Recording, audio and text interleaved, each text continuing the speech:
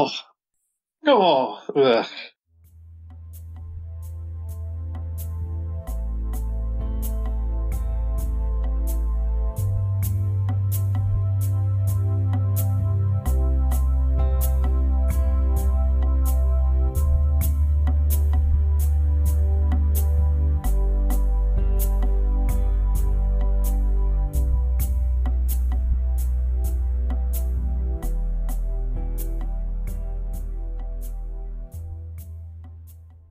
All right, everyone. Hello and welcome to a new episode of the Screenplay Archaeology Podcast. I am your host, Kira Madhead.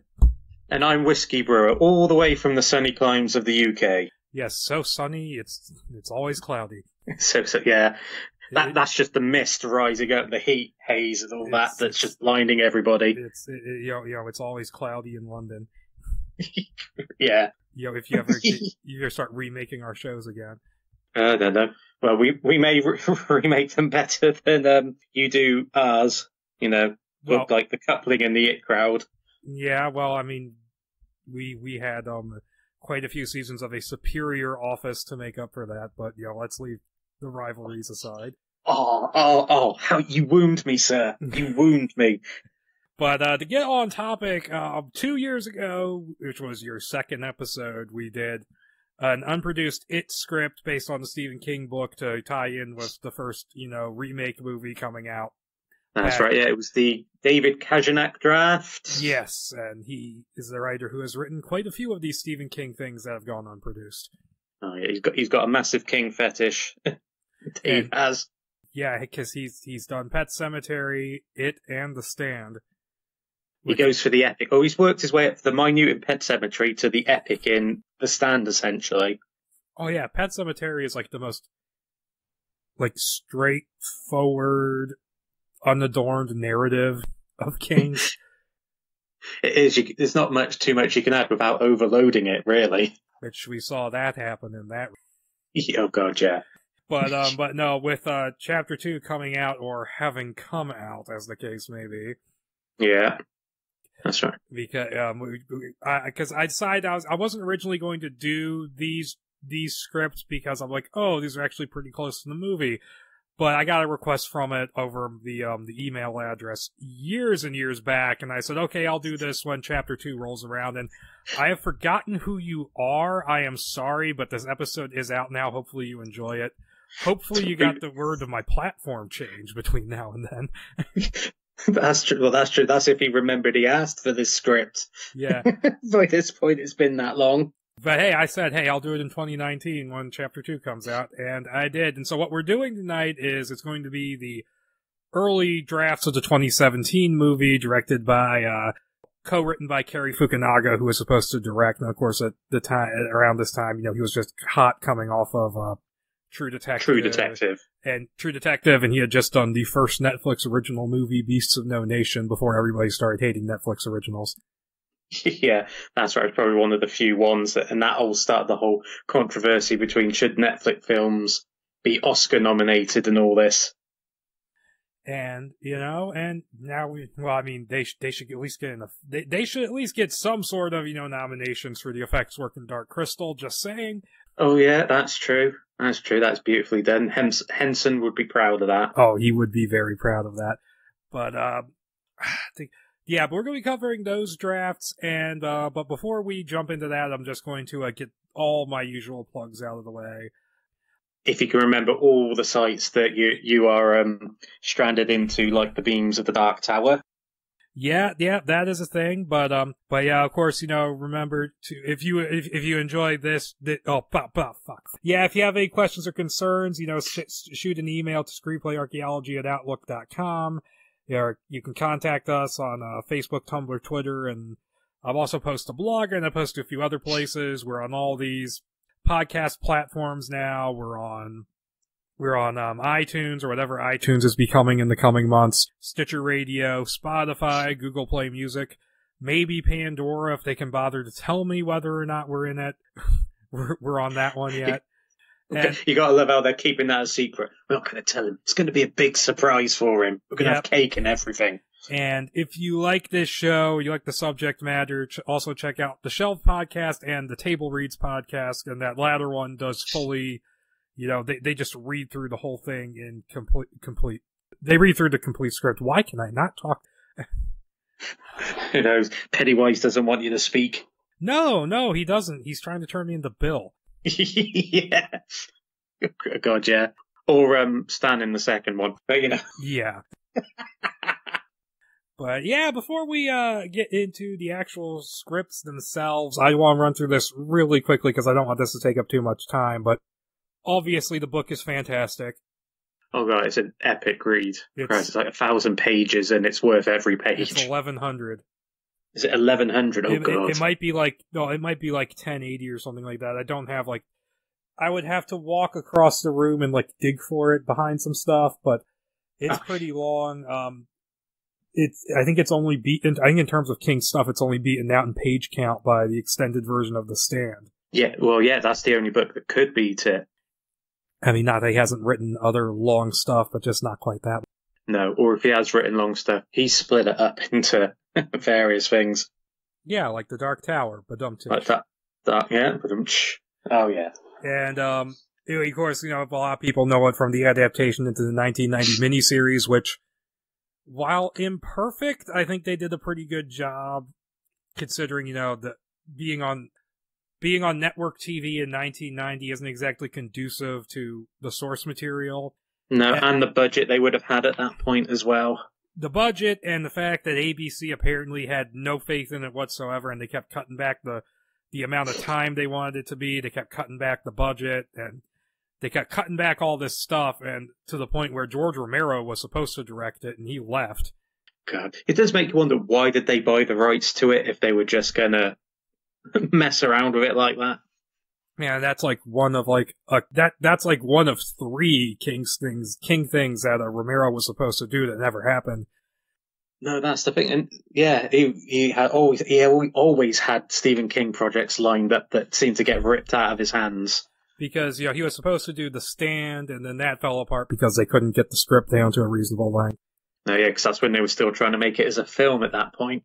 yeah and i think it was something like they King- i think king said like his first draft was like 400 pages or something like that God, which is understandable considering that material but um, Yeah. but and then he was also supposed to direct pet sematary and it ran into problems and he left and almost as soon as he left it got off the ground Oh, he he didn't have the luck with studio films, did Romero? And it would have been interesting to see his version of it, although I'm just imagining fuckface uh, Captain Rhodes from Day of the Dead playing Pennywise. that would be, that would have been intriguing casting at the least. But of course, you know, we ended up with uh, Tommy Lee Wallace, who directed one of the most underrated 80s movies, which was uh, 80s horror movies, which was Halloween 3.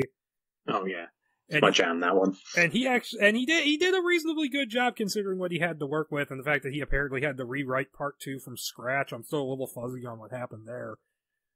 That was probably all to do with all the budget cuts and them cutting back everything, so they had to. You know, they might have done more with like the turtle and the macroverse stuff if he'd had the budget. Oh, it was you- just like, You know, Romero would have gone for oh yeah, he would have gone nuts on that one. But yeah, it was just like, oh, what scenes have we got left over from part one that we didn't use? Yeah, we'll throw them in for flashbacks. Yeah, that's true. Yeah, that, well, that's basically what they did in part two. Was that they had they had some leftover scenes. I'm like, you know, some of this stuff really should have been in the first night of the miniseries, Yeah, I suppose it's one way to get people to come back for part two. which they kind of ended up doing in the movies. So, uh, yeah, of course, you know, I was gonna make that a segue, but of course, we gotta bring up Tim Curry Oh yeah, oh the legend. to the point where we don't even have to say anything about him. Everything has been said. Oh yeah, you know it's just Tim Curry was Pennywise, and for for the min, what the miniseries was, he had it spot on. Yeah, he he's the one. Him and Harry Anderson are like the two casting choices that just solidified the thing. Yeah. Oh god, yeah. Uh, then, of course, then you have a Clark from The Thing showing up in there, connected to last episode. oh yeah, gotta get that. Gotta get those links in. I That's right. Yeah, it is. If it's just um less beard on his face. less beard and less screen time. Yeah, that's true. but uh, no, so eventually so that was made something of a splash when it came out. It started that seemingly endless at the time, you know, parade of Stephen King miniseries, even adapting stuff that didn't need to be a miniseries. Like, like Langoliers, you could totally do as a movie. as a movie, oh yeah, and it it would needed the budget for a movie. You could Tom- cut out half that exposition Tommy Knockers, you could do as a movie. as a movie with um, a better cast, maybe. Yeah, without um Princess Leia's adopted father. yeah. Although he wasn't too bad, he was probably the best of a bad lot in that. It- it- well, I mean, it wasn't really his fault. It was just not a great production. No. And not one of King's best books either, if I'm honest.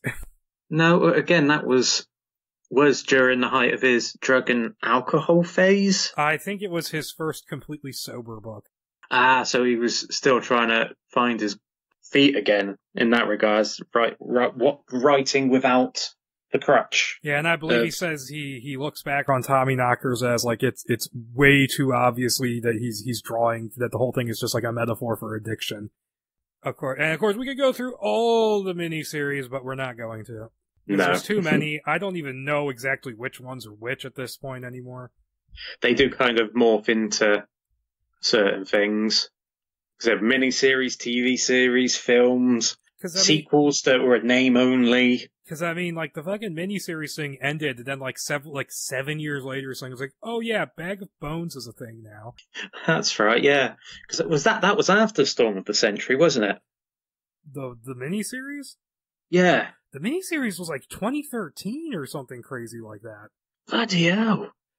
Yes, that's way after Storm of the Century then. Storm of the Century was 99. You're kidding me. I am not kidding you on that one. No way. No. Yes, it was. But moving on. Yeah. eventually, you know, the you know Warner Brothers had the rights, and they, and you know, between various home video releases of the miniseries, which on the latest ones they stitched the two parts together, and I'm not really sure why they do that. No, again, because the version I've got of the It miniseries is the um is a two side. It's a single disc, but it's two sided DVD. And so, of course, you've got part one on one side, part two on the other. It's been a while since I've watched it, so I can't remember if the credits are there at the end of part one or how the start of part two was edited. But I, the only thing I remember from when I last watched it was put in part one or put on the disc in, watched it, got to the end of part one, and thought, yeah, I'm going to go into part two now. And of course, go into the menu, and there's no link for part two. And I'm thinking, have I lost the disc? Am I going to have to go on Amazon or eBay, or actually get off my ass and go into HMV and buy myself another copy so I've got part two of this thing? So I just I get up all in a huff, go over to the DVD player, take it out, about to put it in the case, and I notice part two is on the other side of the sodding disc. I'm like, I'm here now. I'm going to watch it. I can watch it now. I don't need to be angry anymore. It was around 2010 or so when Warner Brothers announced that they were going to do a feature film version of it, and that's where the Dave Kajganich script we covered ages ago comes into it, and he actually proposed the idea of doing two movies, splitting it across the kids and the adults, but whoever was in charge said, no, you gotta do both sides of the story in one movie in about 130 pages, and he tried, bless his heart. Oh, he did with with with all the restrictions he had. It was quite coherent and didn't involve time travel or something. Yeah, I I, I remember that. And with what he had to work with, he did remarkably well. It would have been an intriguing film, but I think it was better we got the two films, the kids and the adults. Well, It's a be- well- much better way of doing it. Well, it was, I will say it was at least better that we got that first movie. Well, of course, yeah. But, but I mean, eh, I mean, he did the best he could, and eventually it kind of got passed over to New Line, and they were the ones who hired Cary Fukunaga, and that brings us to the scripts. Yes. Now, the basic, I, I, I've gotten in trouble before for not giving, well, well, trouble more like people whining at me for not giving a, uh, a quick plot synopsis before we read it. It's basically the movie. It's set in the late 80s across a summer. And you have like the seven kids coming together to combat, you know, the shape shifting it monster, which likes to take the form of uh, Pennywise the clown. Yeah. and, and how just- they're the only ones who can stop it, and it's they band together to fight their fears. It's basically that's it. And hmm. it's and these drafts are more or less pretty similar to the first movie that we got. just more minute changes or different, just swapped around and just like like it would be edited differently based on the scripts than what we got with it chapter one. Yeah, certain things were changed around, and Fukunaga kind of had his own approaches to stuff. And we will get into the possible reasons why he was let go way later on. Oh yeah, well, I think we'll save that for the um for the end. Oh Yeah. yeah, definitely. It, it, it's worth building up to, dear God. But uh, yeah, but yeah, I'll quickly say before we jump into the script. First movie, really good.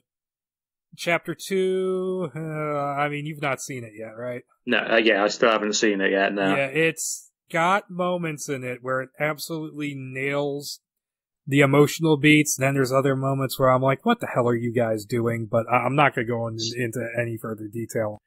nah, we don't You- need to worry about spoilers at this point. I mean, I would probably, I mean, I would probably put it over that Pet Sematary remake we got earlier this year, but that isn't really saying much. That's kind of damning with faint praise.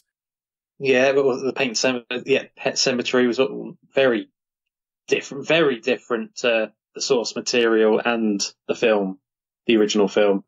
Well, my, my, my problem wasn't with it being different. My problem was with it just being stupid. Ah, fair enough. Yeah, Uh, hey, let's do this stupid dumb waiter thing.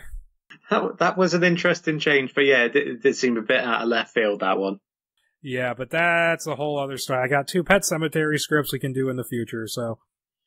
Yeah, I'll, yeah, I'll, I can keep those like my, you know, my alien stuff and my king stuff, you know, And, and then the and then the one-offs like Commando Two and all that. and the Richard Stanley stuff, which we have put off doing those scripts for so long, he actually made another movie. yeah, the cheeky son of a bitch. Okay, so jumping into the first script that leaked out, of course, who knows, there might have been one before it, there, then there could have been, you know, one, there would have been a few in between the two we're talking about, or even maybe a couple after, we don't really know. You know, there's loads and loads of drafts get written and tweaked and played around with during, you know, development.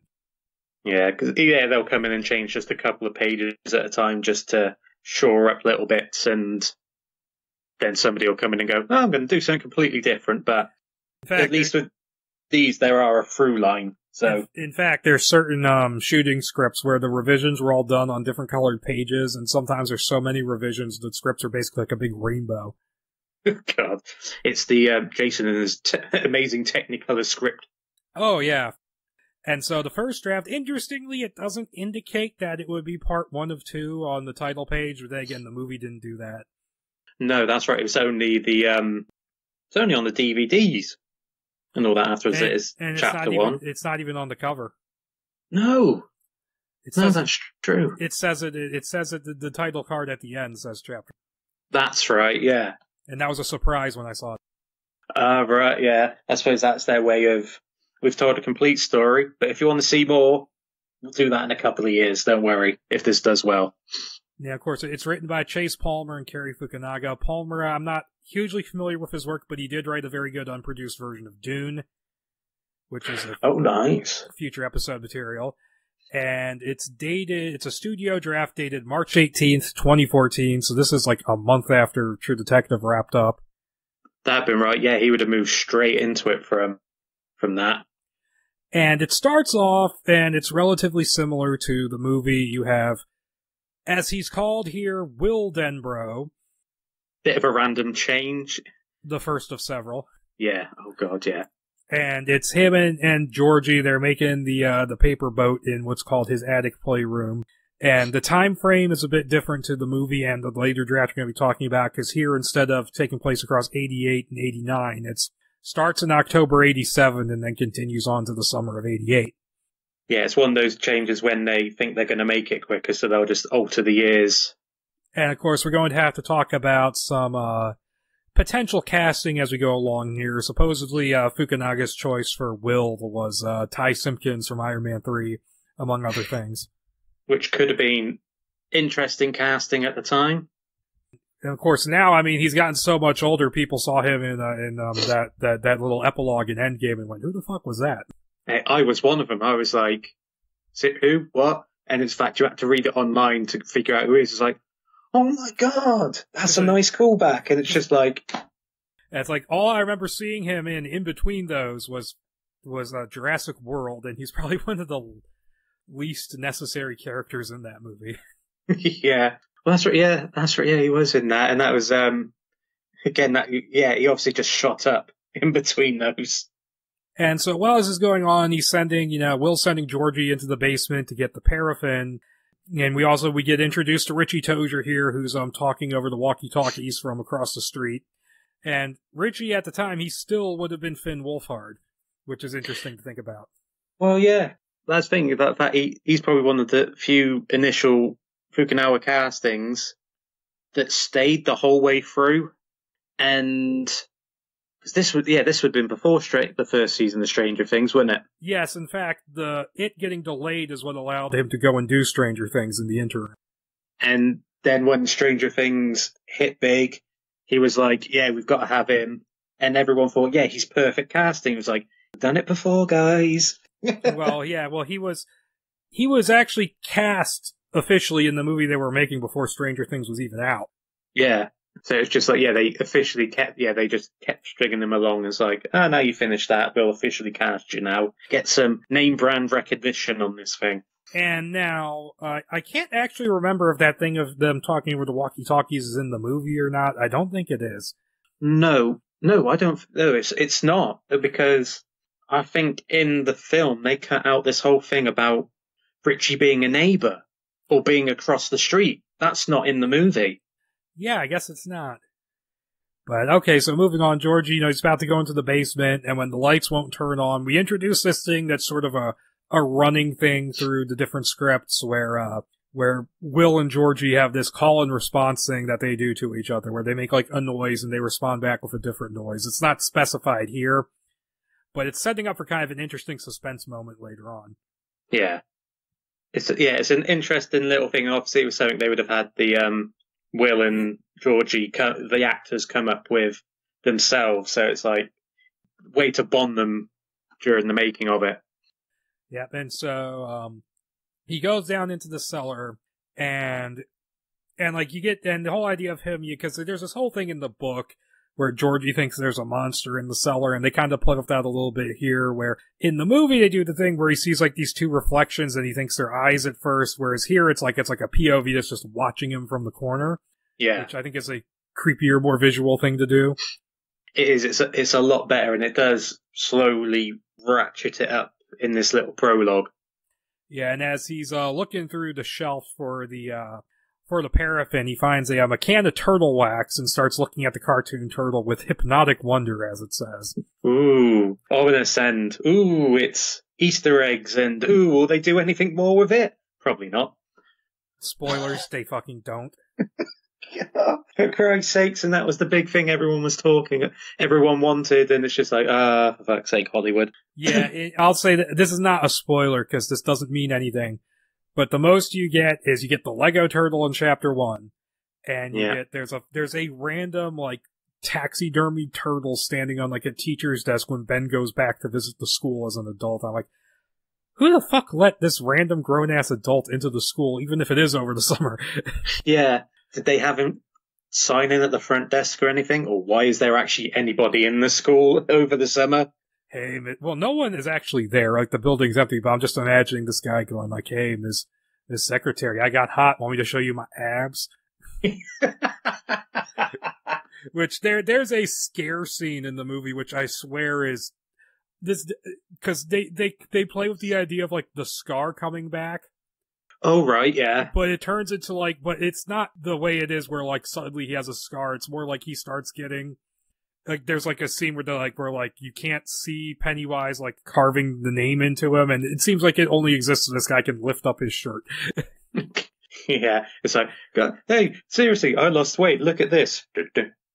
yeah. you just think, yeah, you expect that from chicka wham wham music to start playing in the background or something.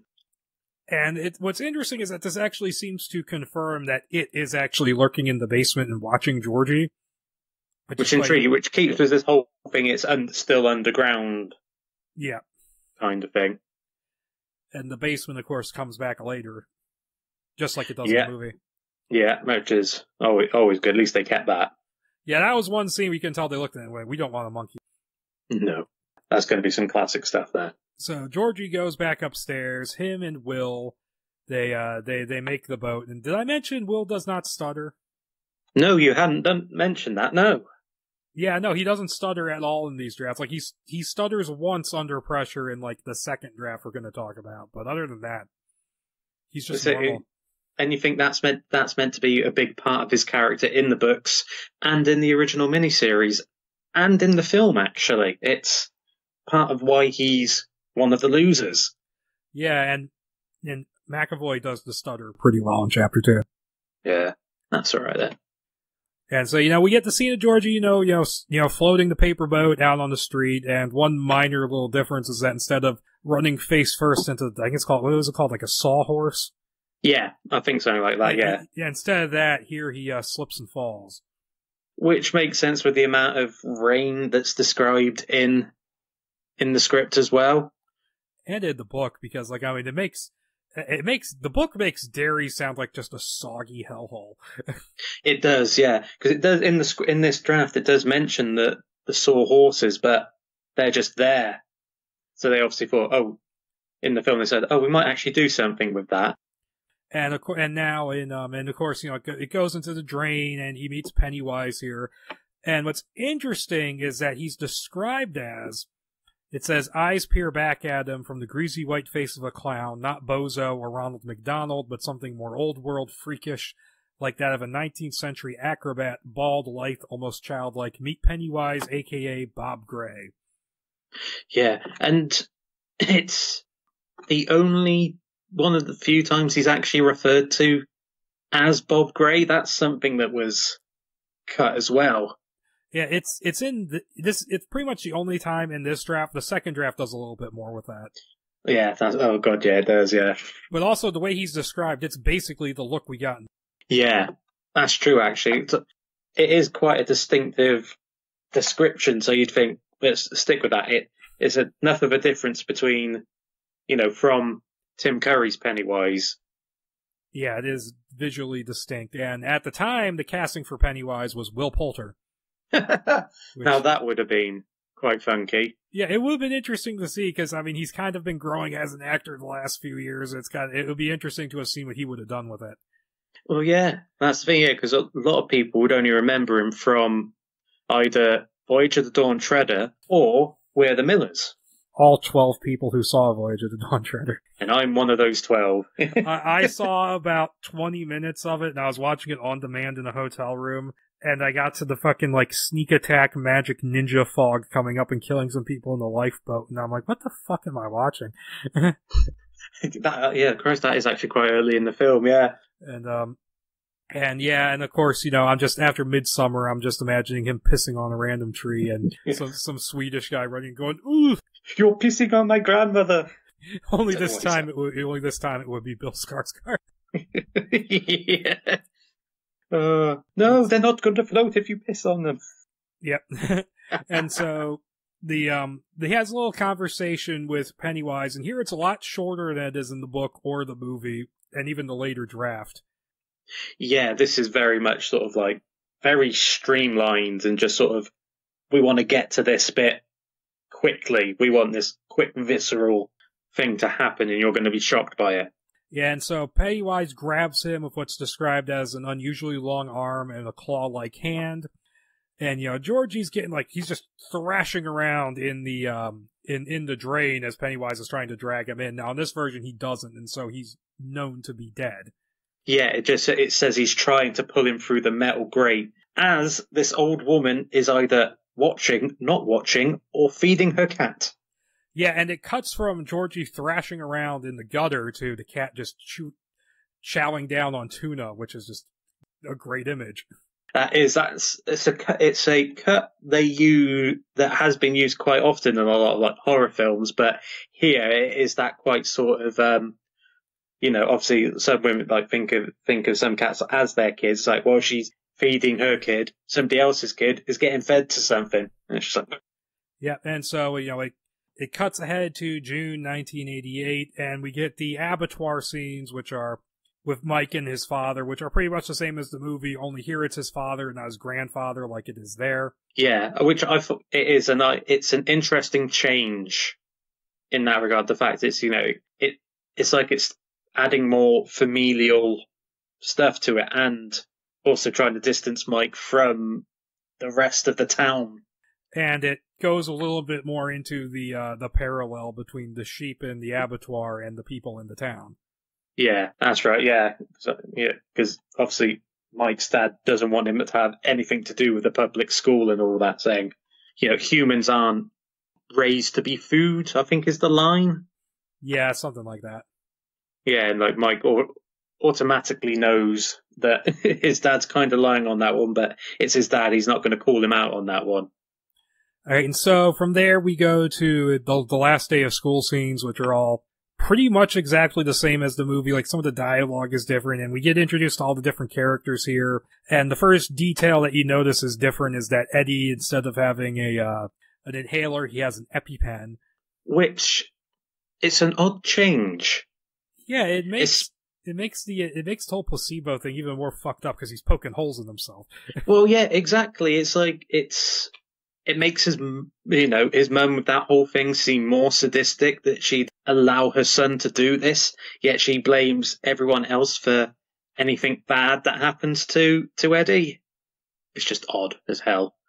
And it continues. I mean, there's a little bit of bullying with the girls in Beverly, but it's a completely different moment from the movie here. They just kind of call her cock breath and a couple other things. Yeah, there's the hoe bag. Hoe and bag. she gives the best BJs. Yeah, and yeah, she's like, yeah, it's like girl one is obviously just got to be jealous. you know, it's just the way. Again, it's just the way it's written. It just makes me think she's jealous. Beverly. Yeah. They say she gives all the best ones. So, well, if you're friends with her, she may teach you love, you know. that, and so out, outside the school, you have you know, Dorsey's mother parading around with her sign. But only here, she's not, only here, the last name's different. It's, it's Dorsey Cohen because here they've made him the rabbi's kid and Stan's not the rabbi's kid. No, yeah.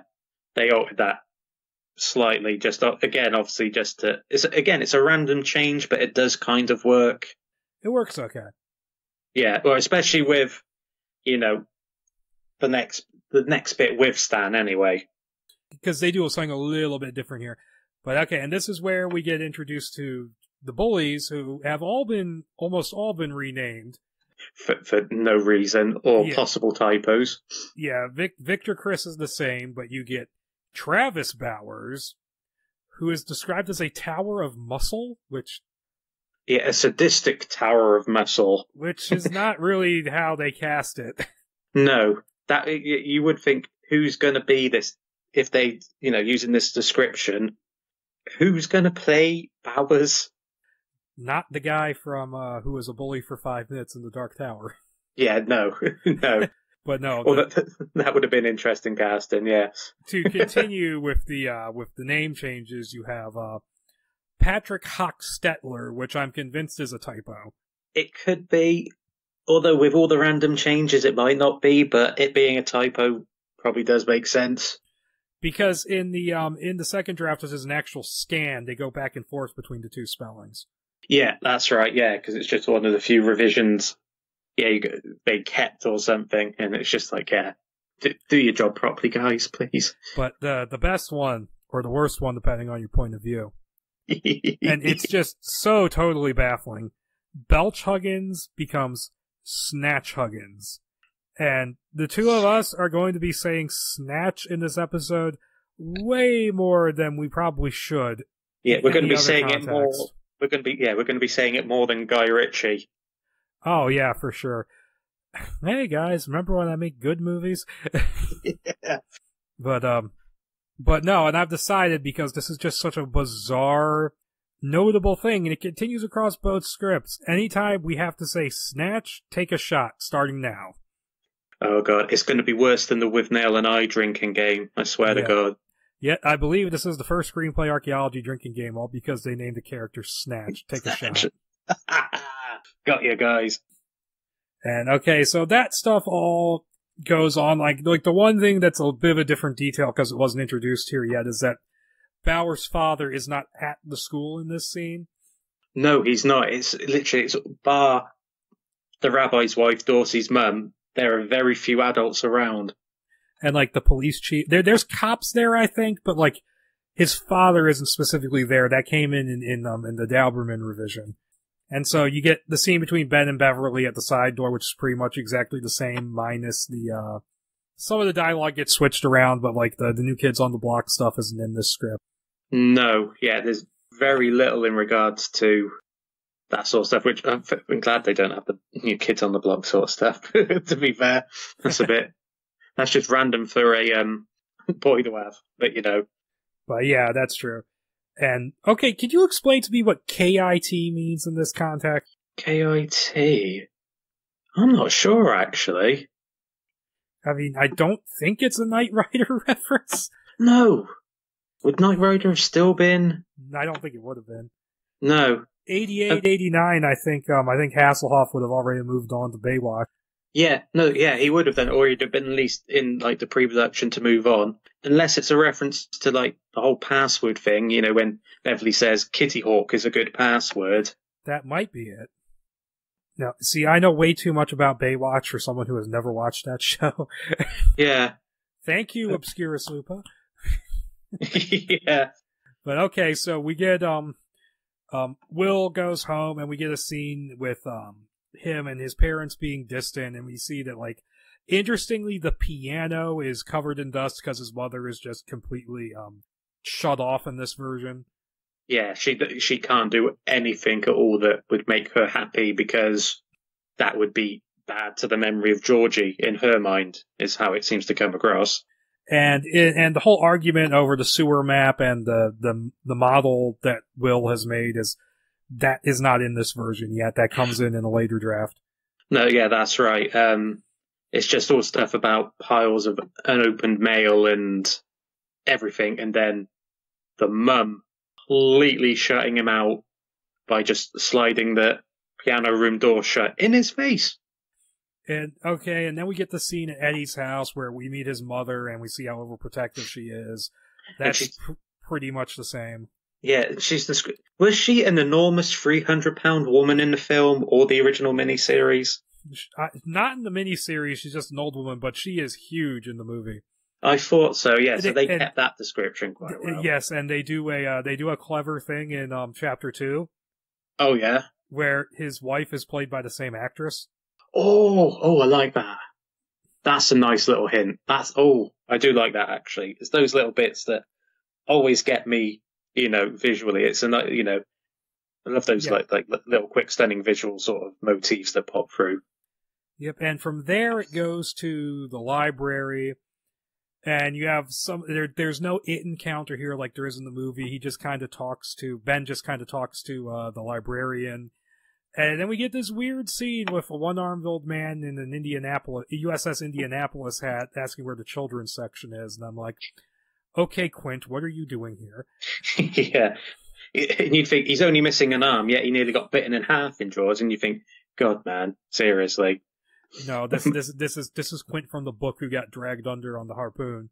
Ah, okay. It only yanked his arm off. only yanked his arm off, yeah.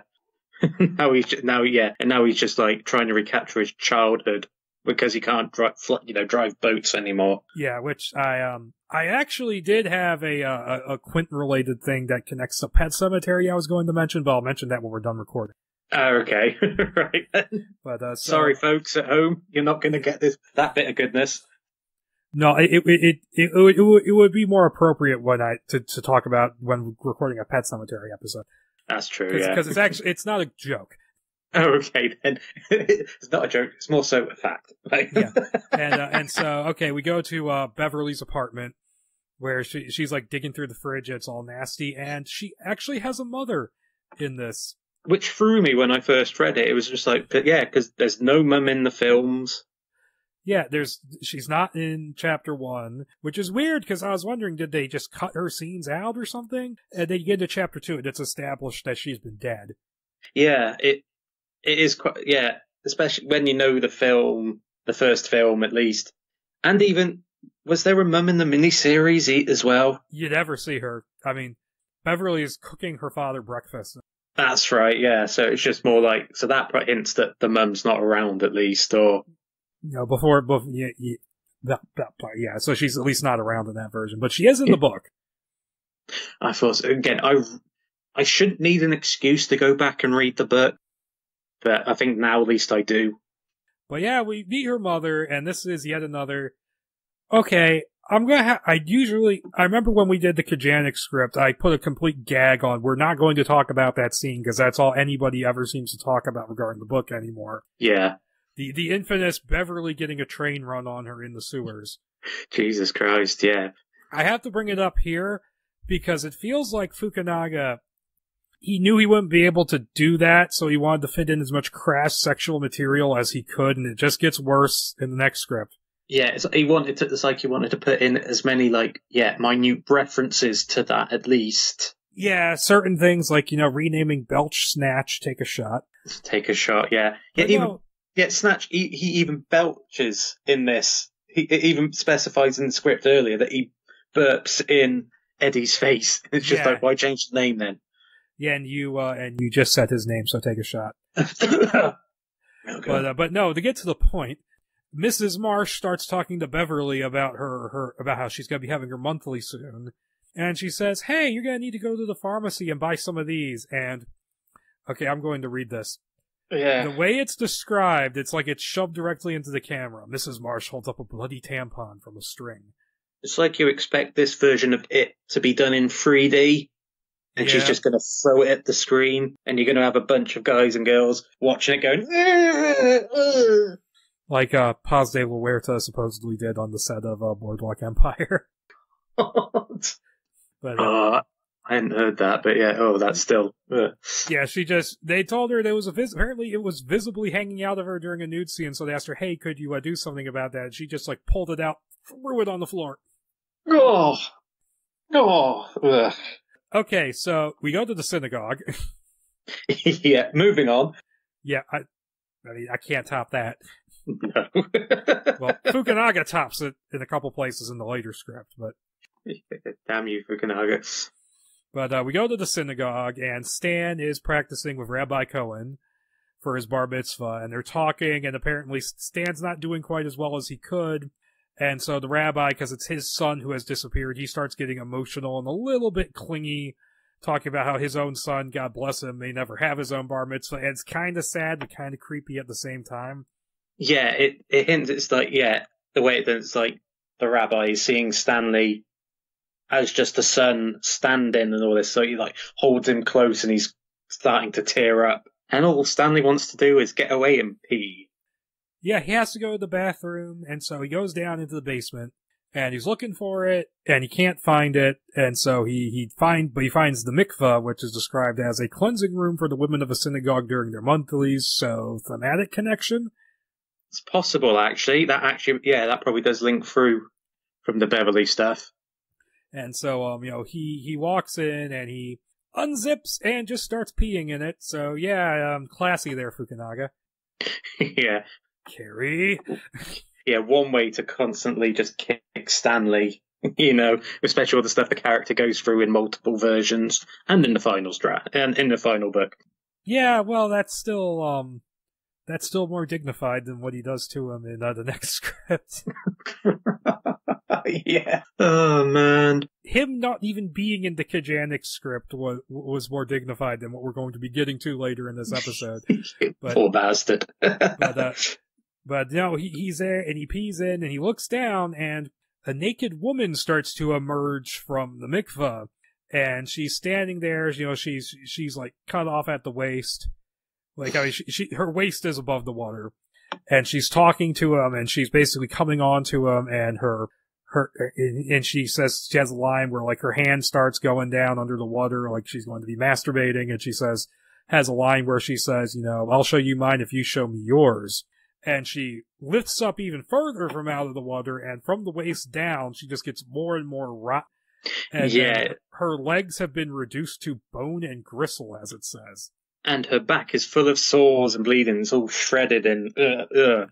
it's very um it's very um the shining movie Yes, it's and it would be a very creepy, unnerving visual.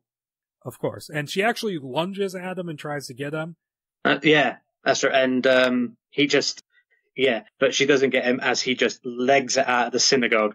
He's just, he's like Roadrunner in this. He's just gone. And I think it's a um a better scene than uh, the whatever the flute woman is. oh god, yeah. Also, and it, he just run past the rabbi and Dorsey's mother, and they're like, "What the hell's he doing?" And they shrug and tidy up, and you think, seriously, your kid's gone missing. This kid's running out of your place screaming, and you're going to act like, eh, you know. But then Why again, is I- that kid's pants unzipped? yeah. God. yeah, I'm going to have a word with his mother. Yeah, but then we get back to the library. Ben's reading through Derry history, and he gets a postcard. You know, he writes the uh, the poem on it. He goes, mails it. And after right after that happens, he gets um grabbed by Travis, Hochstetler, Victor, and Snatch. Take a shot. Take a shot. Only take one. Don't take it based on the usage of the word, not based on how many times we say it. yeah. Yeah, we're, we're not going to be, yeah, we're not going to be that, you know, we're not going to be dicks about that. Don't worry, folks. Yeah, we're not we're not trying to kill you. no, not, not an, an, you know, if it's, if this was Withnail and I, we probably would be with the amount of drinking that goes on in that. And so you know, they grab him and they push him up against the railing of the bridge, and this is where uh, Travis, you know, goes and cuts the T into his stomach, saying, "I'm going to cut my whole name into him." And you know, a car starts to pass. There's an old couple behind the wheel, and they see him, and they just keep driving. And Ben sees a clown riding in the back seat, grinning at him. He sees Pennywise. Now, this changed, of course, in the movie to a balloon in the back seat of the car, and Hochstetler sees it. Yeah, but I do prefer that, that, you know, at least Ben does see something here, and it's, again, it's going to become my sodding catchphrase for this podcast, but it's a great visual of just a clown popping up in the back seat, staring intently at him. Yeah, like I was saying before we got rudely interrupted there, as that Pennywise's face being in the back of the car was reminding me of that bit from Jacob's Ladder where Tim Robbins almost gets run over and he sees the creepy face looking out from the back. Yeah. Oh, exactly. That film. Well, that film's full of creepy faces looking at looking out at you through windows. So, But specifically the car scene. yeah. Oh no, I know what you meant. Yeah. And in this script, this is Ben's entire encounter with it is just seeing the face in the back of the car. Which is, it's really lackluster. It's just like, oh, is that it? Yep, and well, it's better than what the next draft does, but uh moving on. Moving on. Yeah. Where the fuck am I on my notes? Okay, there we are. Yeah, Travis and his gang pursue Ben into the woods, but they get distracted when Travis loses his father's knife, which comes back in the movie. Yeah. And so meanwhile, you got Bill, Bill, Eddie, and Richie. Stan's not with them in this version. They find Dorsey's shoe in the sewer pipe and they meet Ben as he stumbles out of the woods. And they ride their bikes into town to help Ben and they pass Mike riding on his bike as he delivers meat for his father. Yeah, and it's a whole thing where Richie's calling him homeschooled, and he get uh, then Mike calls him Townie, which seems to be a running thing in this version. Yep. And so Travis and his guys, they're, this is where it gets different. They're, um, they're in the Barrens trying to find a knife and they can't find it. And he sees, you know, Mike go riding by on the bike. And so he says, Oh, that N-word stole it. And so they go chasing him. And this is where we get the Kitchener Iron Works, where there's this whole thing in the books about how there was this explosion there and all these kids died during an Easter egg hunt on Easter Sunday. And they reference it a bit in the movie. Yeah, But here the reference is that they go there, Mike's hiding from them there, and there's a plaque recounting the tragedy that was put there by the Historical Society. And so he's hiding and he manages to sneak away and ride off on his bike. uh, but not before Pennywise appears behind him, looking over his shoulder, and then Oh. vanishes again. Yeah, there's a lot of uh, Pennywise just lurking in the background of scenes in this. Yeah, keeping him very more sort of like creepy background thing rather than how Skarsgård did it in the film. More, or, and, and way different from uh, Tim Curry as well. Oh, yeah, everything's different from Curry. So he, he's very, um, he's very almost Michael, Michael Myers-ish, like original Michael Myers. that's right, just like the face appearing in the shadows, sort of thing. And so he gets away, and then Hochstetler notices a lone balloon, and so the others leave, and he's like, "No, I'm going to stay here." And um, one, he wants to explore the area, and so he goes into the basement of the ironworks, and he's still like the pyromaniac here with the can of hairspray, and so he's like lighting his way through there, and it's like lighting it up, and he gets glimpses of uh, Pennywise and the dead kids, and the way it's And black monoliths as well, which I thought was a nice description. oh black monolith, oh so so we're in the 2001 universe. Yeah, wouldn't surprise me. It's well, it's a it's a very big macroverse, so Yep. wou- wouldn't be surprising. And so it's a pretty well described, suspenseful scene, and I think it works a little bit better than the scene in the pipe does in the movie. It does. I preferred this version to what was actually in the film. Because what was in the film is um is what's in the uh the the the Dauberman's revision, and so basically what they did was that because the movie kind of they go away from the revision we're going to talk about, and they kind of worked from this script. It feels like. Yeah, oh, It's- definitely. And so basically what they did is that they cut back, you know, the Mike scene and just instead of having him go running after a completely different kid, they just folded into them looking for Ben. Yeah, they ju- yeah they did just there's a lot of condensed condenser. Which makes No. sense. It's not a word. yeah, is that a word? It is now. Condensing. Yeah, that, that God. And then the, the clown like jumps him. And there's a line there. There's a line Hochstetler has in this scene, which is just another ugh, thing where he's like, "It's like I've seen your ghosts before. I've done them in their buttholes." yeah. Did they float? Which I thought was a nice little response. yeah. And all I can think of with that line and all the weird crass stuff in this is it's like Fukunaga knew he was not going to be able to put you know the the infamous running a train scene from the book in Yeah. here. So he's like, I'm going to put as much crude sexual material in here as I possibly can. Oh, definitely. It's like fitting something there in the background, or at least like one-off lines and all that, and tiny descriptions. Yep. And so the kids, you know, we get the pharmacy scene where Beverly helps them steal the medical supplies for Ben. Although here instead the weird, creepy, pervy stuff with the pharmacist, they just do, uh, they have, uh, you know, Eddie, sta- you know, stage a fake allergic reaction. And then gets stabbed in the leg by Dr. Keene with the EpiPen. Yep. That freaking EpiPen. What do you think about changing it from an inhaler to an EpiPen? Well, considering it's part of the whole sort of like allergy placebo thing, I think it's actually, I don't know, a bit more viscerally violent than it needs to be. Yeah, and uh, it's not like an update thing because kids still have inhalers now. Well, yeah, exactly. And to me, it didn't make sense. The fact that, yeah, it's just it just seemed a weird alteration. Maybe it's like you know, part of Fukunaga's you know, thing penetration thing that he's not having because he's not doing that scene. And so they run into Stan outside, and then Beverly goes her own way, and the boys, you know, they take the shoe to the police, who do nothing about it, and they, they they basically just kind of shoo him out of the police station. Yeah. Thank you for being good citizens. Now, can you let us do our jobs properly? Yep, and they all go home, and Will, you know, has some more tension with his parents. They're talking about like their usual summer park trip, and they're like, "Oh, it was Georgie's favorite," and then they walk away. and He goes, "Yeah, it was mine too."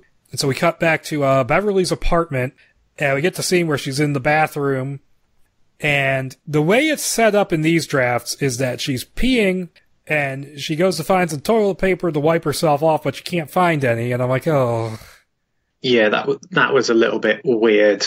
That you'd think with two women in the flat, you'd have plenty, but you know. Yeah. And so and this is when, you know, the blood comes out of the sink, which is described as like a demonic ejaculation. God's sakes. Stop it, Carrie. Stop it, please, God. And so that scene basically happens the same, except it doesn't cover the whole room to the point where it looks like they ran out of fake blood and just put a filter over the scene like it does in the movie. yeah, it's like yeah, like um, like a deleted scene from Saw. And we get her father. Her father here is, you know, like it looks like he's going to be physically abusive because he shoves her into the wall. And you get the scene where he's being creepy and kind of like smelling her and stuff, touching her face, Yeah, which is pretty much the same. there's a whole thing. Like, oh, it's the spider that scared me. It's the spider, Which would be which I thought was a nice little reference. Yeah, I thought it was a nice little foreshadowing reference. And so then we have um the the scene in the basement where Will finds um Georgie in the basement who's being controlled like a meat puppet by Pennywise. Which that that that visual is just creepy as hell. And it's like he's attached to his back. Yeah, but it, it does specify later on near the end of that little bit that It's like Georgie's just attached to his back as Pennywise is going through the water. And so that goes pretty much the same way, except there's a bit of an expansion on it where his father, you know, doesn't see the water in the basement even though he's standing right in it. Yeah, and it's all. Did you have a bad dream? He's actually you know a lot more receptive to Will slash Bill in these scripts than he seems to be in the, f- the final film. Well, it's because they cut a lot of that stuff out. True, but it's like those scenes kind. I felt it kind of worked a lot in this script. And so Beverly's mother also doesn't notice the blood in the bathroom the next morning. And the boys head down to the Barrens and we find that the police has recorded it off for their search. And Travis, you know, he's reported Hochstetler missing to his father, who's a cop in this version like he is in the movie. And he says, oh, he was last seen, you know, looking for Mike. And so this leads to Officer Bowers going to the abattoir to bring Mike in for questioning and he strong arms his father so hard he has a heart attack. Yeah, after pretty much physically assaulting Mike to get him in the car. Yeah, what's what's weird about it is that it seems like he has a heart attack, but then in the hospital scenes he has cancer. So are we saying that he beat the cancer into it? I was again, I was wondering about that, but maybe it could have been better informed earlier in the script. Maybe the dad had cancer, but the assault brought on the heart attack, and Ben is explaining, you know, the history of Derry to the other boys, and he mentions, you know, the well house was located when, when the, uh, when, you know, the original settlers went missing, he says the well house was located at the drain where Georgie was killed. And so they head to the quarry, where it's basically the same scene, only Pennywise is looking under the water and tugging at their feet. And, yeah, which I thought was a nice little, creepy little bit. Hold on, why doesn't he take one of them there? I don't know but again, you did kind of expect that the way it was written, but then it was just like I don't know. It was very Jaws. Yeah, that's true actually. And so yeah, we get Will opening up about his encounter, and that gets Ben and Stan to speak up, and that's when Beverly takes them to her place to show them the blood, and they they clean it up while Stan and Ben stand on lookout for her father. And I actually liked what the movie did better, where they basically make Richie stand lookout because they're tired of his bullshit. Yeah, I thought that was quite a nice, funny little moments like, can you stop with the comments? Piss off while we do, while we help her out. And so we get Mike leaving the police station after giving his statement, which, you know, gets Travis in trouble with his father. The, uh, the other kids come in. They attempt to tell the chief about the thing that's stalking them, but the cops don't believe them, thinking it's just one of Richie's pranks. And that's when it jumps ahead to July 4th. And, you know, Travis and company, they're destroying mailboxes with fireworks. And Mike visits his father in the hospital who has bone cancer, I think they say. Yeah, some type. I can't remember. It's actually specified. Well, they say, oh, it's in his bones, I think, but they don't say specifically yeah. it's bone cancer if it metastasized to his bones. Hmm, that's true. But, you know, while that's going on, Mike visits his father in the hospital, and, you know, he tells he tells Mike about how he witnessed the burning of the Black Spot Club in 1960 by the, the Maine Legion of Decency, and he, him and his friend went there and they jumped out the windows into the, uh, into the canal to get away from the fire. And, and there's a few other people in the canal swimming and they see Pennywise emerging from the canal to prey on the survivors. I loved how this is described, how the, the balloon comes out of the water and he's just riding it up. And it's watched, he's not like Pennywise doing his like his magical stuff in the basement bit. It's like it's what is like m- mode of transportation, as it were. Yeah, and now they don't give him a last name, but they do say that uh, Hanlon's friend is named Dick here, and in the book it is confirmed to be Dick Hallorann from The Shining. Yeah, that's true. I remember that. I thought that was a nice little reference. And so Mike leaves the room while his father is, you know, he's, he's, he's undergoing chemotherapy and then he sees like, it's like the fire alarm, the flashing light is going off, but there's no noise. And that draws him into the coroner's office. And like in between the flashes of the light, we get glimpses of Pennywise lurking. Again, yeah. Doing it, you know, it's, it's essentially it directed by John Carpenter. And the encounter, he has the encounter of it in the form of a Hochstetler's mutilated corpse, which emerges from one of the morgue drawers. That's uh, and that's just a creepy visual in itself. And he is, manages to escape the hospital just in time. And the way the flashing lights are described, I don't know if you saw uh, Scary Stories to Tell in the Dark yet or not. Yes, I've seen that. I, oh, yeah. The the red way to do the red room. The red room stuff. Yes, actually, that I didn't think of that reading when I read it, and oh yeah, that I can see that now actually.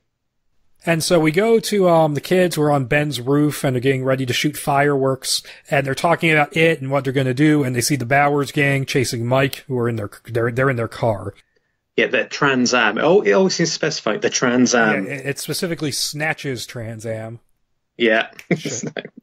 Take a shot.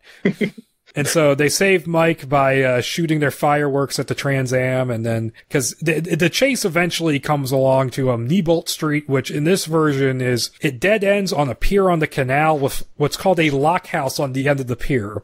Yeah, I did like. Uh, before we go on to this, but I want to go back to the what you know was essentially the firefight, and because I loved how this was described, and I felt this would have been a really great thing in the film. You know, I could really picture it, especially Beverly with the six shooter mortar firework cannon thing that Yeah. knocks her on her ass every time she fires it. Yeah, because the uh the, that's one minor problem with the movie is that the rock fight is not as apocalyptic as it's described in the book. No, it's it- not. Well, this brings about that sort of thing, and it's really great. And it's not I think it's better on screen to get Mike as one of the losers than the rock fight is in the film. because I mean it, it wasn't as great in the miniseries either because I mean it's got the weird things like Ben discovering his slow motion powers and yeah, God, yeah. but no I do like the fireworks fight that's actually pretty well described and they do throw some rocks at the end Yeah, at the end, just as they're making their final retreat. And they're forced to flee into the house via a basement window and the the board like falls off by itself and it mysteriously replaces itself when Travis tries to find a way in. Now okay, I have a question. Okay, yeah. This house is on the end of a pier and they say specifically it's on stilts. How the fuck does it have a basement? Mm, oh, I, oh, bloody hell. I didn't even think of that. That completely passed me by. Oh my God, yeah. Unless there's like a you know, secondary floor and there's another set of stilts. I don't know. Yeah, but yeah, it doesn't make a whole lot of sense. No, it doesn't actually. Yeah, thinking on it, it really doesn't. And so Eddie freaks out and he says, "Oh, this is where I've seen it. This is where I had my encounter with it," but he doesn't say what it was. No. So yeah, Eddie's encounter and Richie's encounters remain completely off screen. Richie's doesn't even get mentioned. No, that's yeah, and that was quite. Those are quite odd cuts. You think those would be important in regards to when they're telling the stories of how they saw it? Now in now in the movie, Richie doesn't get an encounter either. Chapter two kind of uh, fixes that by putting a flashback scene in. Uh, so it's it's one of the cut scenes from the first one that they no, put it, in. it was something they shot for for for chapter two. Oh, okay, Yeah, so they they went back and fixed their own mistake. that's nice of them. And so they head upstairs, and one of them peeks their heads out the you know the door into the first floor, and the door opens, and they go, "Okay, coast is clear." And they go back and they close the door, and it shows Pennywise is behind the door, off in the distance watching. And then when they come back up, he's gone. Yeah, I thought that was a nice little visual as well. Although it's different from the way I tend to think of Pennywise. Like I don't tend to think of him as a watcher. No, but I, I suppose it works kind of well in this script as he's watching. It's that slow build of fear rather than the instant hit. It, it, it's trying to build suspense, and I think that works for a movie. Oh, definitely. And so they see a group of crows in the house on the stairs, a murder of crows, I guess you'd call it. And they go, oh, there must be an open window somewhere on the second floor. So they head up there and they find it. Beverly and Richie make it outside, but then the floor collapses under Eddie, kind of like in the movie. Yeah, falls, thought- breaks his arm. Falls into the kitchen and breaks his arm. And then the way out into the hallway gets blocked by the crows. So Bill, Stan, and Mike are looking for a way down while Beverly and Richie do the same and they fall onto a big pile of rope outside. And then we get the scene of Pennywise emerging from the fridge, which is more or less the same from the movie. Yeah, yeah, pretty much the way it's described. Definitely that how his joints, his joints are, dis, you know, all over the place, and he's moving like a spider. And he's like, he's like rearra- he's like, like putting them back in place. Yeah, And so he pulls out an old mat. So Mike is upstairs. He pulls out an old mattress to use as a cushion for their jump down, but he finds a child's corpse underneath it. And he freaks out, backs into the other two, and they fall through the hole and they land on top of Pennywise, who breaks their fall. Sorry. that that was blackly. Co- I read that as like very blackly comic. Yeah, but at the same time, you're kind of taking away from your, your, your monster's intimidation factor when you do that. Yeah, that is true. Yeah, And so they're saved at the last minute by Beverly, who shoots Pennywise in the eye with a bottle rocket. yeah. Is it meant to be the last one she's got, or I think so. yeah? You know, after she used up that mortar she probably bought from that guy from The Simpsons. yeah. And he, he transforms into orange gas and flees back into the fridge. Yeah, that which seemed quite weird to me. You'd thought he'd scuttle back in like a spider. You keep that backwards and forwards rather than this weird change that he suddenly got. But I guess they're trying to uh, imply, the, you know, more of the, the cosmic stuff there. True. It just, it just seemed bit out of place for this scene. And so they take Eddie home and we get his mother driving them away. And they catch a news report on the TV that says the police have caught the killer who's the one armed man from earlier. So sorry, Quint. He, he has no luck at all. Yeah, I don't really think that was worth the setup of the weird one armed guy in the library just to go, oh, we found the killer. Yeah, it, it was just like they'd forgotten or they'd remembered that they had this character. So it's like, oh, we could use him to, you know, save ourselves in this little plot line. Yeah. The police so- have actually done their job. And Eddie's mother is the first to refer to the group of kids as losers. So- and you'd think it's a bit late in the film for them to be referred to as losers. yeah, and in the next script, they don't even call them that at all. No, they they do, don't they? Yeah, I but, think they oh, wait, do. they do, but I think it's like right at the last minute. Yeah, that, but I think Eddie's mum refers to him as losers. Well, he she refers to Will as a loser for a specific reason in the next draft. Oh yeah, that's right, but it's not, it's still weird the way it's handled. So then we get August, complete with a title card, but then it's revealed to be August of 1879, and Derry is still a logging town, and then we get a scene from the book of Lumberjack Claude Heroux massacring this, these men playing a card game in the Silver Dollar Saloon, and the patrons ignore it all, and Pennywise is playing the piano.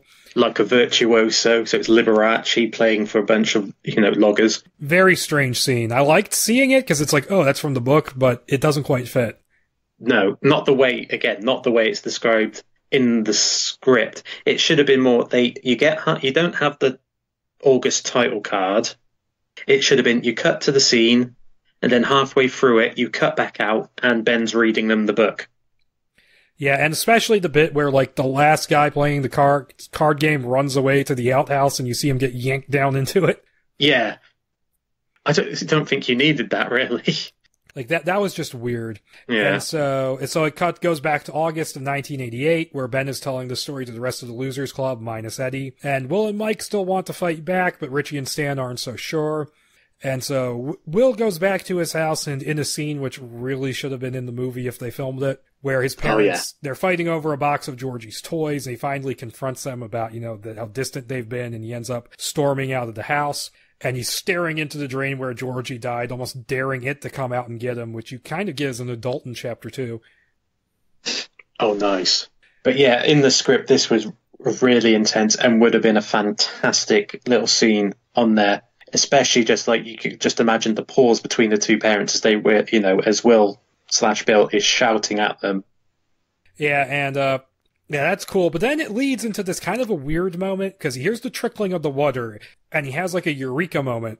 And he starts biking around all these different locations to the Neibolt Street house, to the Ironworks, to to the the fuck what what am I thinking of? Uh, To to Beverly's apartment, which has this big tangle of pipes on the back of it. And he gets this eureka moment where he's like like it's connected to the water. It's like the ending of Cabin Fever. that's yeah. Oh yeah, exactly. Yeah, that's another one. Oh god. It's, But yeah, that's it.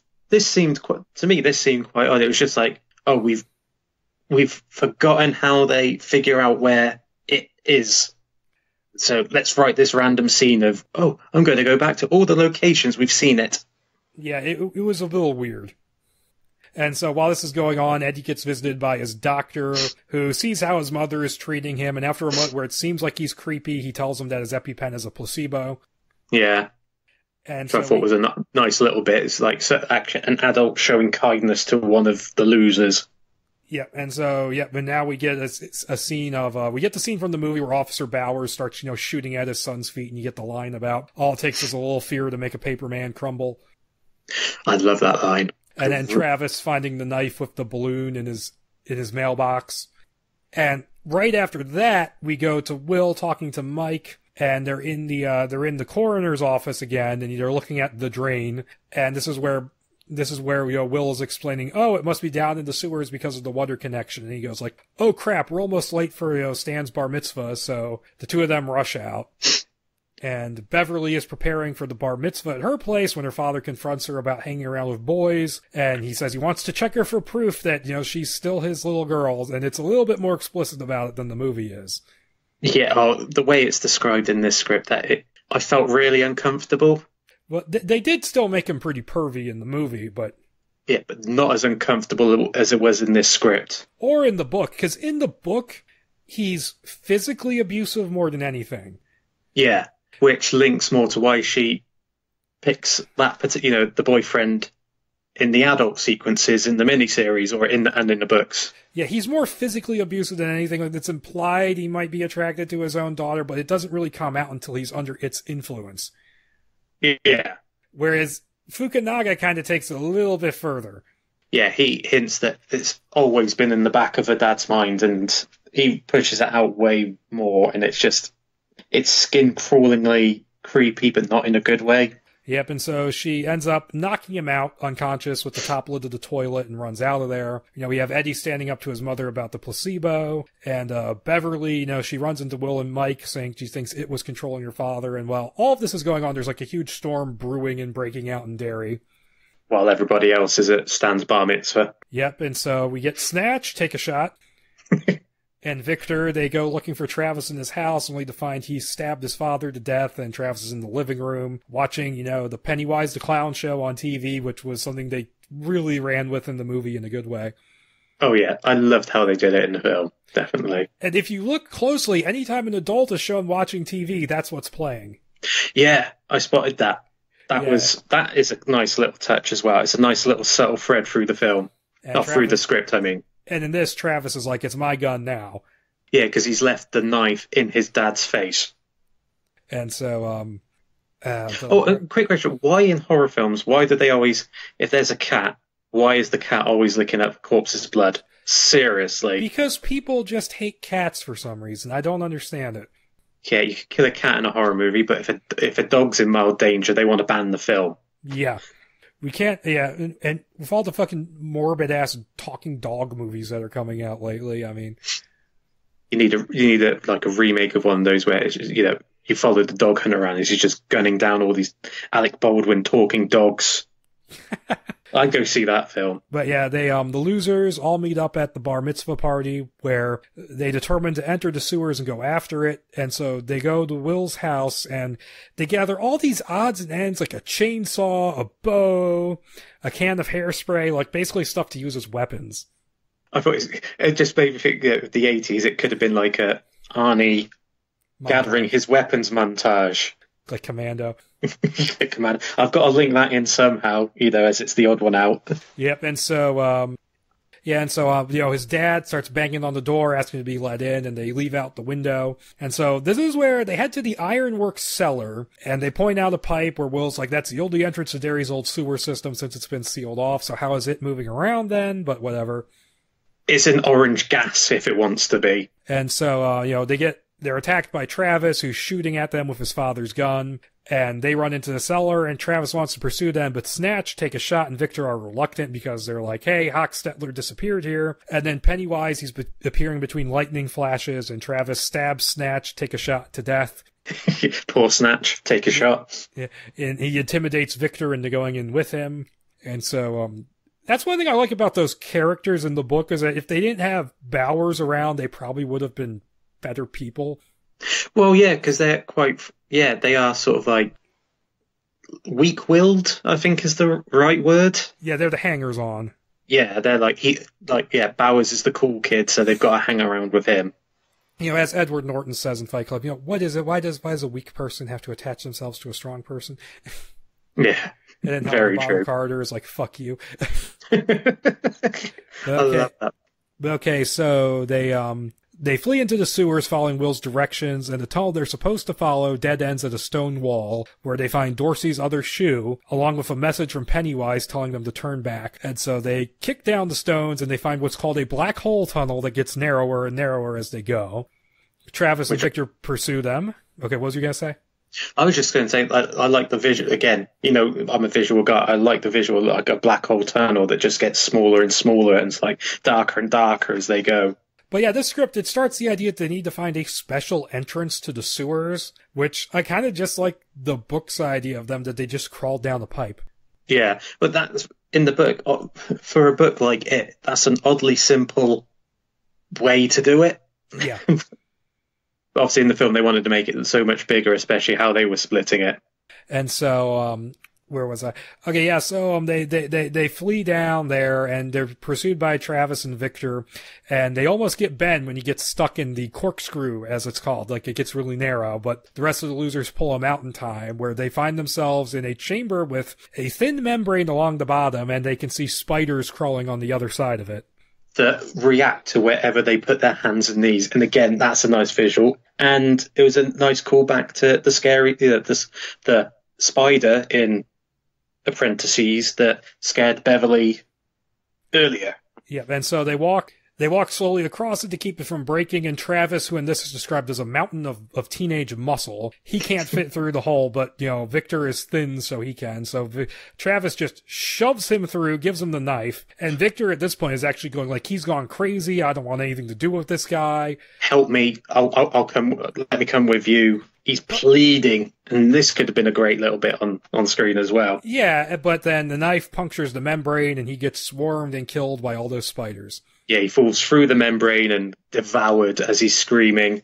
And of course, Travers is the other side of the hole, hearing the screaming, and it's almost like he's getting off on it. He's like, "Yeah, I'm loving this. I can't see it myself, but I'm hearing it, And and, I'm the loving it." Yeah, and then the spiders start coming after him and he screams and runs away. yeah, like like I would.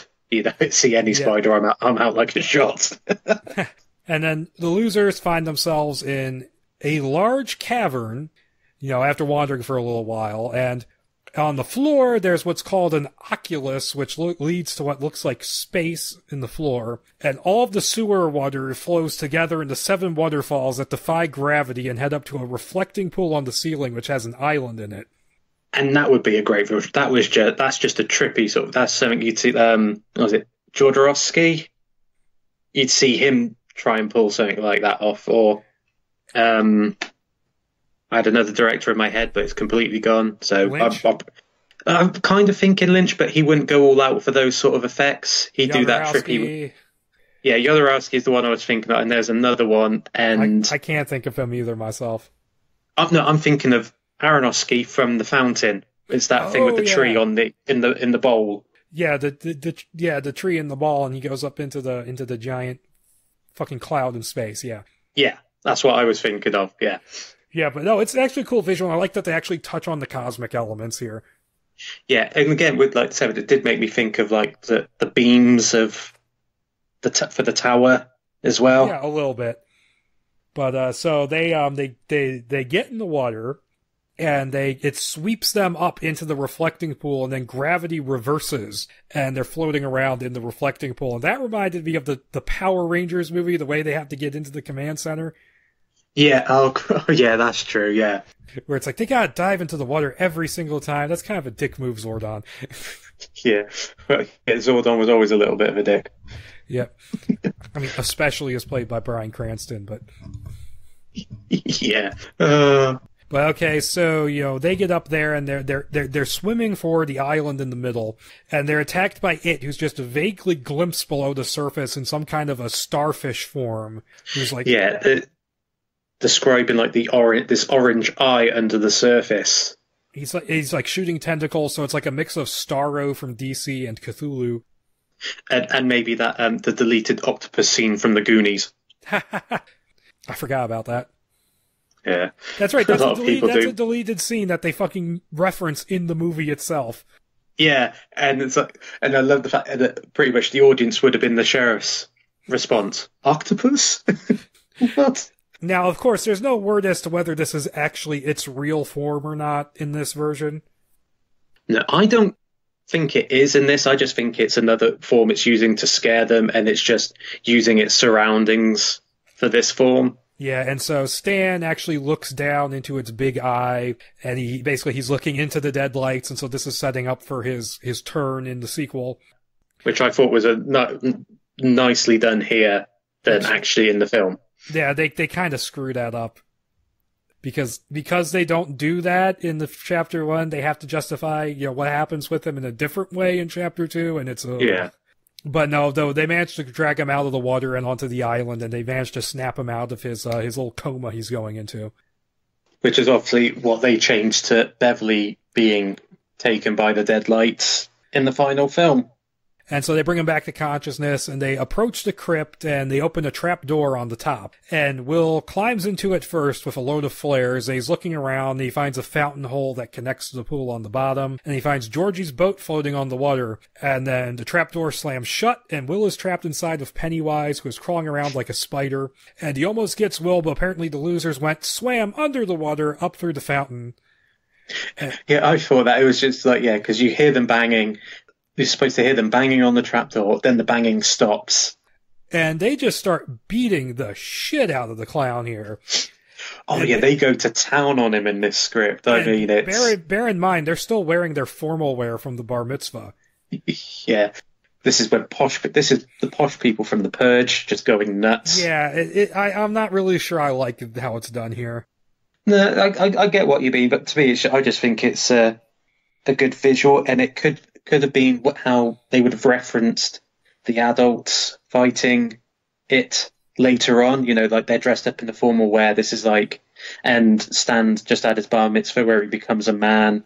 So it's like a foreshadowing of how they fight Pennywise late in the what would have been yeah the sequel to this script. Yeah, and yeah, and uh, they uh holy crap! I think your headphones got pulled out. oh no! Oh god! They back in? Oh, I'm not hearing myself, so. Oh, oh God. Okay, but um, but yeah, but it's ba- basically what they do here is what they do in the movie, where they're just fighting back, and they're not afraid anymore, and it's trying to take on multiple forms, which aren't actually specified here. No, they, which I they, think the director could have just gone to town on that one. So. Yeah, and they manage to subdue it. And it tries one last time to fool Will by turning into Georgie, but he weeds it out by doing the call and response thing, and he doesn't like how it sounds, and he goes, Beverly hairspray, and then they burn it to death with the hairspray. Yeah, but I did like how when it first turned to Georgie, how it's described as like we're all, you know, he's it's like Georgie's going, we're all still in here, even though you're killing it, you're hurting us. And I thought, oh, now that's a little, that's a twist of the knife. Now, the way they do that kind of attempt of tricking Bill in the movie, I really like because it helps that the kid playing Georgie was a really good actor. Oh, God, yeah. Oh, he's fantastic in that. And so when Bill has to put the fucking uh, no Country for Old Men thing to his head. God, yeah, his best Javier Bardem yeah, impression. That, it's it's really it, it's a really almost tough to watch moment, but no. So they basically they, they burn it, and its body deflates like a balloon when um when um Richie goes to try and touch it, and then gravity reverses itself again, and the water and the crypt it gets sucked towards the Oculus, you know, into the Mike Flanagan universe, and yeah. The losers almost get sucked in as well, but they get out of the water on time. And and it specifies that Ben is the one who saves Beverly from being sucked out into space. Yep. And I don't think she actually learns about the poem in this draft. Not in this draft, no. No. But she does, you know, mention it to Will and Will's just like, huh? And she's just disappointed and then it then it's just forgotten about. At least it's better in the movie where she finds out about it and then forgets yeah, it goes with the effects of the town. So I thought that is a nice, that would be a nice touch. And so, um, and so they get lost in the sewers, and for a second there, you think it's going to go to the, the running a train scene from the book. but she, um, she gets them to focus by holding each of their faces. Oh yeah, and, that, yeah. Take, um, takes each of their faces in the palm of their hand, and the fact it's capitalized in the script. Yeah, Beverly takes Bill's, Will's face in the palms of her hand, blah blah blah, and it's literally for all all of them. It's like, oh, capitalized line, bold. This is what happens. Yep, and so they get washed out by the water onto the riverbank, and Will finds, you know, the glass Coke bottle, and he breaks, and he you know, gets them to swear the blood oath to return to fight it again if it isn't truly dead. And we then see Travis back at his house, sitting in front of the static-filled TV with his hair turned gray or white, and the police arrive on scene and arrest him. And so Mike goes to the hospital only to find that his father has passed away because he apparently thought defeating it would get rid of the cancer, but sadly, Mike, that's not how that works. No, because I think there is a line earlier where it's like somebody said, I swear somebody says that it is eating him, and that's why he's Yeah. got it. So that's why he thinks doing it will save him. But it's like a little bit later. That's one thing I like about this this draft is that it gives Mike much more of a uh, an arc. Yeah, it, ra- rather than him just being the token other guy in the film. Because in the at least although in the film he does get like some backstory and some reasoning behind his fear. Because yeah, in the next script he gets nothing. Oh no, he doesn't. He's just there again. He is just. It's like he's just the token black guy. But then again, in the other script, somebody else isn't there. Uh, Yeah, but in this one he uh he's almost like the emotional core of this draft in a way. Yeah, that's true. And it, you know, and the fact, obviously, you could say that the fact he's not part of the town itself, so he's able, in sense, in that what would be in the second, the second part of this draft, it explains why he would have stayed there a lot more, Yeah. and he would have taken on Ben's role of town historian. Yep. And so, you know, from there on, and Will, he's, he heads over to his home and he hears his mother playing the piano because, you know, the piano was covered in dust as we saw earlier. And this sort of clues him in that everything's going to be okay now. Yeah, because she's play, she's playing one of like her favorite tunes, which always made her happy. Yeah, and then it cuts ahead to September as Will and his family are leaving for the park trip. I mean, kind of late for that, but, you know. Yeah, because even earlier in the script, it specifies that it's the trip they make near the end of August. Yeah. And so I guess they're going for the weekend instead. Yeah, possibly. Yeah, Labor, Labor Day weekend or something. that makes sense. Actually, yeah. Yeah, and so the rest of the losers show up. They give him a camera as a gift, and as the family drives away, a single red balloon is shown floating in the sky above Derry, which pops right as the script ends. Yeah, uh, that made me think. When the way it's described in this script, that made me think they're doing it as an end, you know, an end in case they can't do the you know, can't do the adult stuff. So they say, "Oh, the balloon has popped." That's because it's actually dead. But it's a In nice, universe. but it's a nice, it's a nice subtle sequel hook. Yes, It's not, oh, Freddy's still alive, you know. it's yeah, it's not cool for you know from. I forgot. I already forgotten the film. Sinister, Yes. which also has James Ransone in it. yeah, that's very true. But it's Yeah, not but- the Bughuul jump scare to say, "Oh, I'm still here." Ooh. But now the, uh, oh, that, fuck, I forgot about that jump scare. That's the worst part of that movie. It is. But uh, but no, um, of course the balloon pop got moved to uh, the Hochstetler death in the movie. Yeah, and then and Pennywise jumps out from behind it. There was a version of this ending scene that's filmed that's in the deleted scenes on the Blu-ray. Only instead of the balloon floating in the sky, it just, the camera just sort of moves into the drain where Georgie was killed. Oh, that's interesting. So okay, that's that script. Overall, not bad. No, I did enjoy a lot of the the way the se- some sequences were written in this script, especially you know as I've said to you throughout throughout this that the the Fourth of July firework battle I would just have loved to have the- seen on screen. Yeah, the visuals are all very well thought out here, and you can you can tell with this draft that it is kind of an early draft because like a little things could use some shoring up, like the relationship between the kids doesn't quite spark the way it could, No, that's true. And it I do like how they wait until later to introduce Mike to them. Yeah, they all they all know who he is, but they don't know know him. yeah, he's he's homeschool, and that's all they know him as. Also, I do like how it, this is just a nitpick for me, honestly, but I do like how it very firmly all takes place over summer break, unlike the miniseries where Eddie is like, "This is the best summer ever," and then literally five seconds later they're back in school. yeah, I love that. That was just that was a bit random. And so that draft is not bad. It could use some work. And next up is the undated revision, which is a scan without a title page. And it follows it a lot to a degree, but also has a fair number of differences between both it and the movie. Yeah, this seems like like a sort of say a tangent from the draft we've just read to the film. It like goes off in that little other direction before coming back to what we got as the film. And I think there's a very distinct reason for it, but uh, I'll I'll talk about that in a second. So jumping right into this, um, the difference is you know between them they start early. The time frame is now you know fall of '88 and summer of '89, like in the movie. Yeah. The uh, the creature POV in the cellar it actually follows Georgie, but the cellar door slams in its face, which would have been a cool moment. Yeah, again, to me, that was very much. That's what I was thinking of with Evil Dead. Not the first, not in the first draft. That was very much Evil Dead Yeah, to me. join us. Enjoyed us. Yeah. Swallow your soul. Swallow this. Could, could you imagine Ash Williams and Derry? Oh God, he'd, pro- he'd probably be um, one of the one of the deputies. Just with his with his metal robot hand from Army of Darkness. yeah, that's all you see in the background. You just hear the clanking as he's moving the fingers. And all right, and so um, the conversation with Pennywise is longer, and there's a bit in the conversation that made me laugh my ass off the first time I read this, where he says, "Will wouldn't want to come. He doesn't like clowns." Then Pennywise just gets this look on his face, like, "Oh." Like it, it was reminded me of Devil's Rejects. Yeah. Oh yeah, I love that. It's that knowing look, understanding. What do you mean you don't like clowns? Don't we make you laugh? oh, yeah, I do love that film. I can't wait for um, 3 from Hell. Actually, Uh, I'm iffy on that one, but we'll just have to wait and see if zombie can actually pull that out.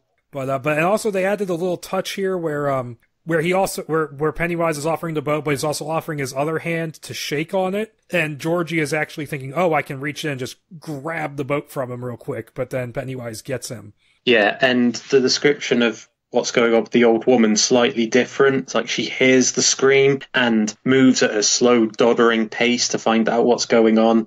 And also when Pennywise grabs Georgie, he gra- it's it says his um it says like his hand now looks like a claw, Yeah, which is real different because the what happens in the drain in the book is that you don't it says that his face Georgie sees it change, but you don't know how it changes. The sharp teeth was something that the miniseries brought in, and I think that's a good way to sort of sort of step out of its shadow in a sense.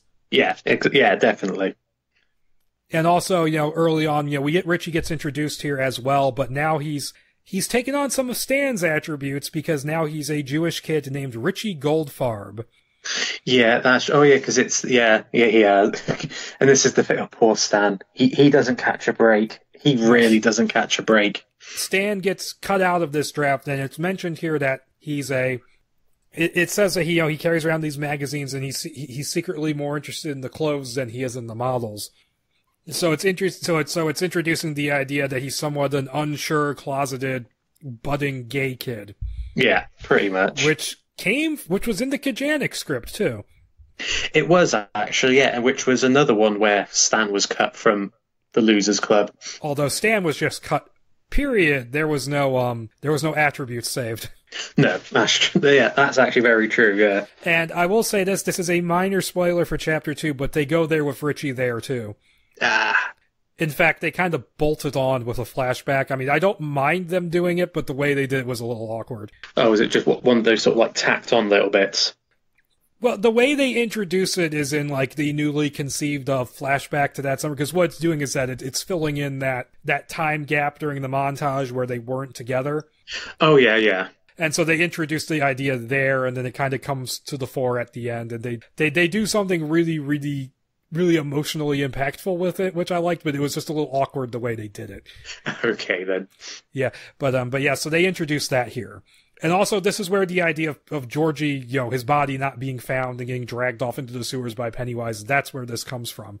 Yeah, because it does. It says in this draft as well that it's like Pennywise is actually like trying to. He's thrashing around and trying to pull him in, as if Georgie doesn't quite fit. Yeah, it does that in the first draft as well.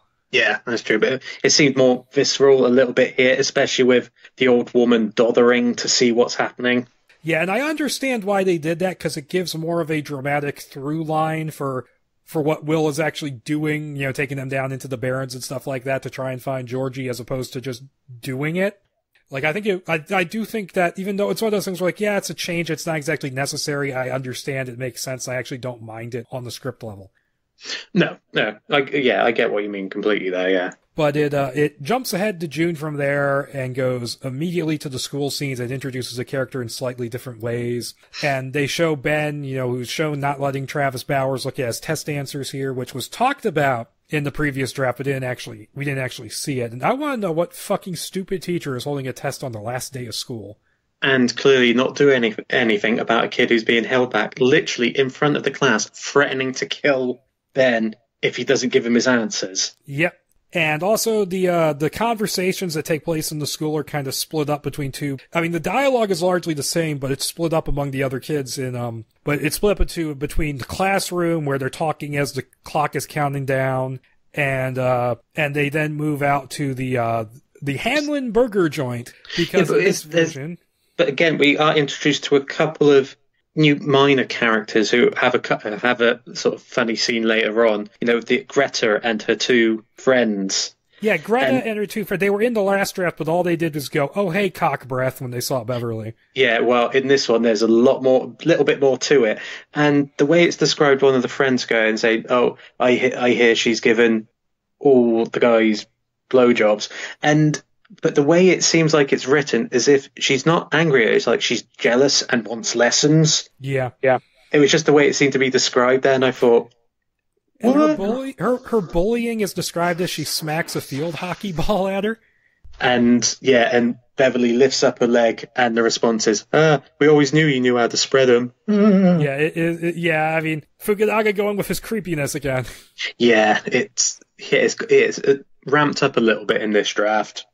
But yeah, the you know the the rest of the uh, the conversation between the boys moves to uh it moves to the Hanlon Burger joint because and Mike is essentially working as a waiter there. And due to this change in occupations, the Hanlon abattoir scenes and pretty much all of Mike's screen time and character development is just gone. Yeah, it, the the amount yeah the amount of stuff that's suddenly cut, and all you losing the difference between the two scripts is thirteen pages overall, but so much was cut and changed. Yeah, I feel like you could have gotten there. You could have gotten that cut. I mean, you didn't need every scene with Mike and his father. No, You you could have, you could have, as much as I liked it, you could have cut the black spot flashback. oh yeah, you could have got rid of that one, but yeah, kept the opening talk about sheep, and then kept the chat in the hospital, and Yeah. that's more than enough And the, characterization. and the scene of his father dying. yeah, But yeah, so that's weird. And the abattoir actually gets moved over to the Bowers family here, but we'll talk about that later. yeah, And so the encounter with the Bowers gang, Bowers' gang happens in the restaurant as well, but a lot of, it's not exactly the same dialogue. And Will has been carrying around a goldfish in a bag this whole time, which is named Stanley. yay! Travis throws it onto the grill and kills it. Oh my god, they've just burned up Stanley. And think, yeah, wow, they really love that character, don't they? Yeah, they treat just- that character with so much respect. It's unbelievable. Yeah, it's just tasteless, which makes me wonder, since Stan's not in this draft, who is slitting their wrists in the bath in part two, if that even happens? God knows. Um, I don't think anyone would. no. No, I think it would just be, yeah, I think they would have just cut that bit out completely from a second draft for, to, Yeah. as a sequel to this. And also, and, and Mike's dad has the line here. He has it in the other draft too, where he says, "And you wonder why I don't want you hanging around with these people." And I'm like, "Because a fish landed on your griddle." Yeah. It's like, yeah, it, it it's it's like his dad's just like become well again the whole Mike and his family have just become exceedingly as thrown away as Stanley the goldfish. Yes, and so um, Dorsey's mother is out. Um, she's out marching with her sign like she is in the pre in the previous draft. She's outside the school like she's in the movie, and here she's doing it out down the street by the restaurant. And they've been given you know their original surname of Corcoran back, and so he's not the rabbi's son anymore. He's not he's not the lost Cohen brother. No, yeah, you, you can't you can't have someone taking the spotlight from Joel and Ethan, can you? And so here we get the uh, the idea of Will of um Will creating the uh, the sewer model from hamster tubes to uh, demonstrate you know how Georgie's body would have ended up in the Barrens. You know that is in the movie and it's here, and his Yeah. father arguing with him over it is here too. And and about the blueprints that he's taken without permission. Yeah, that's here. And then the synagogue scenes come next, and this is where it gets fucking weird again. And um, Richie is now. Oh, oh! I forgot to mention in the restaurant scene, we also get to meet Snatch, Take a Shot, and Victor. Yeah, they're there, and it's just like yeah, but Travis does all the work while um, Victor and Snatch take a shot. Um, they just they just they just follow him around like puppies. It seems like in this one. And so the, the synagogue scenes come next, and you know this is where we get the idea of the Jewish kid being the rabbi's son, and you know he goes to a, you know and he you know he goes to a go to the bathroom again, and he still pees in the mikvah. Only here it starts overflowing, and it forces him back into this office where it has um where it has taken the form of a handsome young clerk who has replaced the normal guy who's there, whose name is Mason. Who's out sick. And he just starts seriously coming on to Richie. He puts his hand on his hand, and he, then Oh. Richie notices that it's pale white like a corpse, and that he has a clown's cuff coming out from under his sleeve. And the creepy line, I wear the underwear you like. And he also says, he also says, Mason has told me what you really want as Richie runs away. Yeah. Oh, And he, oh he- man. just imagine Will Poulter doing that. Yeah. Oh god. And so he's preying upon Richie's confusion about his own sexuality. And Oh yeah, because back in the burger joint, it's like he's carrying a magazine and he's got a art men's underwear article or advert kept in amongst the pages. Yeah, it's been mentioned a couple times before now. Yeah. But uh he doesn't really seem all that interested in killing Richie. Like he doesn't really seem to try. No. If it is again, it's that like the one little callback to the previous draft we read where it's like the ramping, slow ramping up of the fear. He, he wants, you know, this is like the starter, but when he's going to kill him is when it's the main course, when he's ramped it up to God Yeah, knows what I- level. I, would have liked at least a little more action from him. Yeah. do something. And also the line where he says, Mason told me what you really want. Does that imply something happened between Richie and the other clerk? Possibly, or it's referencing that Eddie is attracted to Mason, maybe. Richie is attracted to Mason. Who did I say? I You said, oh You god. said Eddie again. But Did I? But it's referencing that maybe he's attracted to him. But the thing is that they don't confirm it either way. So I'm wondering what really happened here. And that happens in a couple places in this script where something weird, uh, creepy like that is brought up, and it's never confirmed either way. No, and, and you wonder if it they were going to save those reveals for chapter two. Maybe Maybe. it's strange. Yeah, it is a little bit. Yeah, not as strange as me forgetting the names of the bloody characters. Okay, and then we get Eddie and his mother in the bingo hall. And so it's basically the same scene, except it's not at his house. And Richie meets up with Will and Eddie outside before they head to the Barrens. And Ben's library scene now has the uh, now has the librarian slamming the book on the table and doing that jump scare.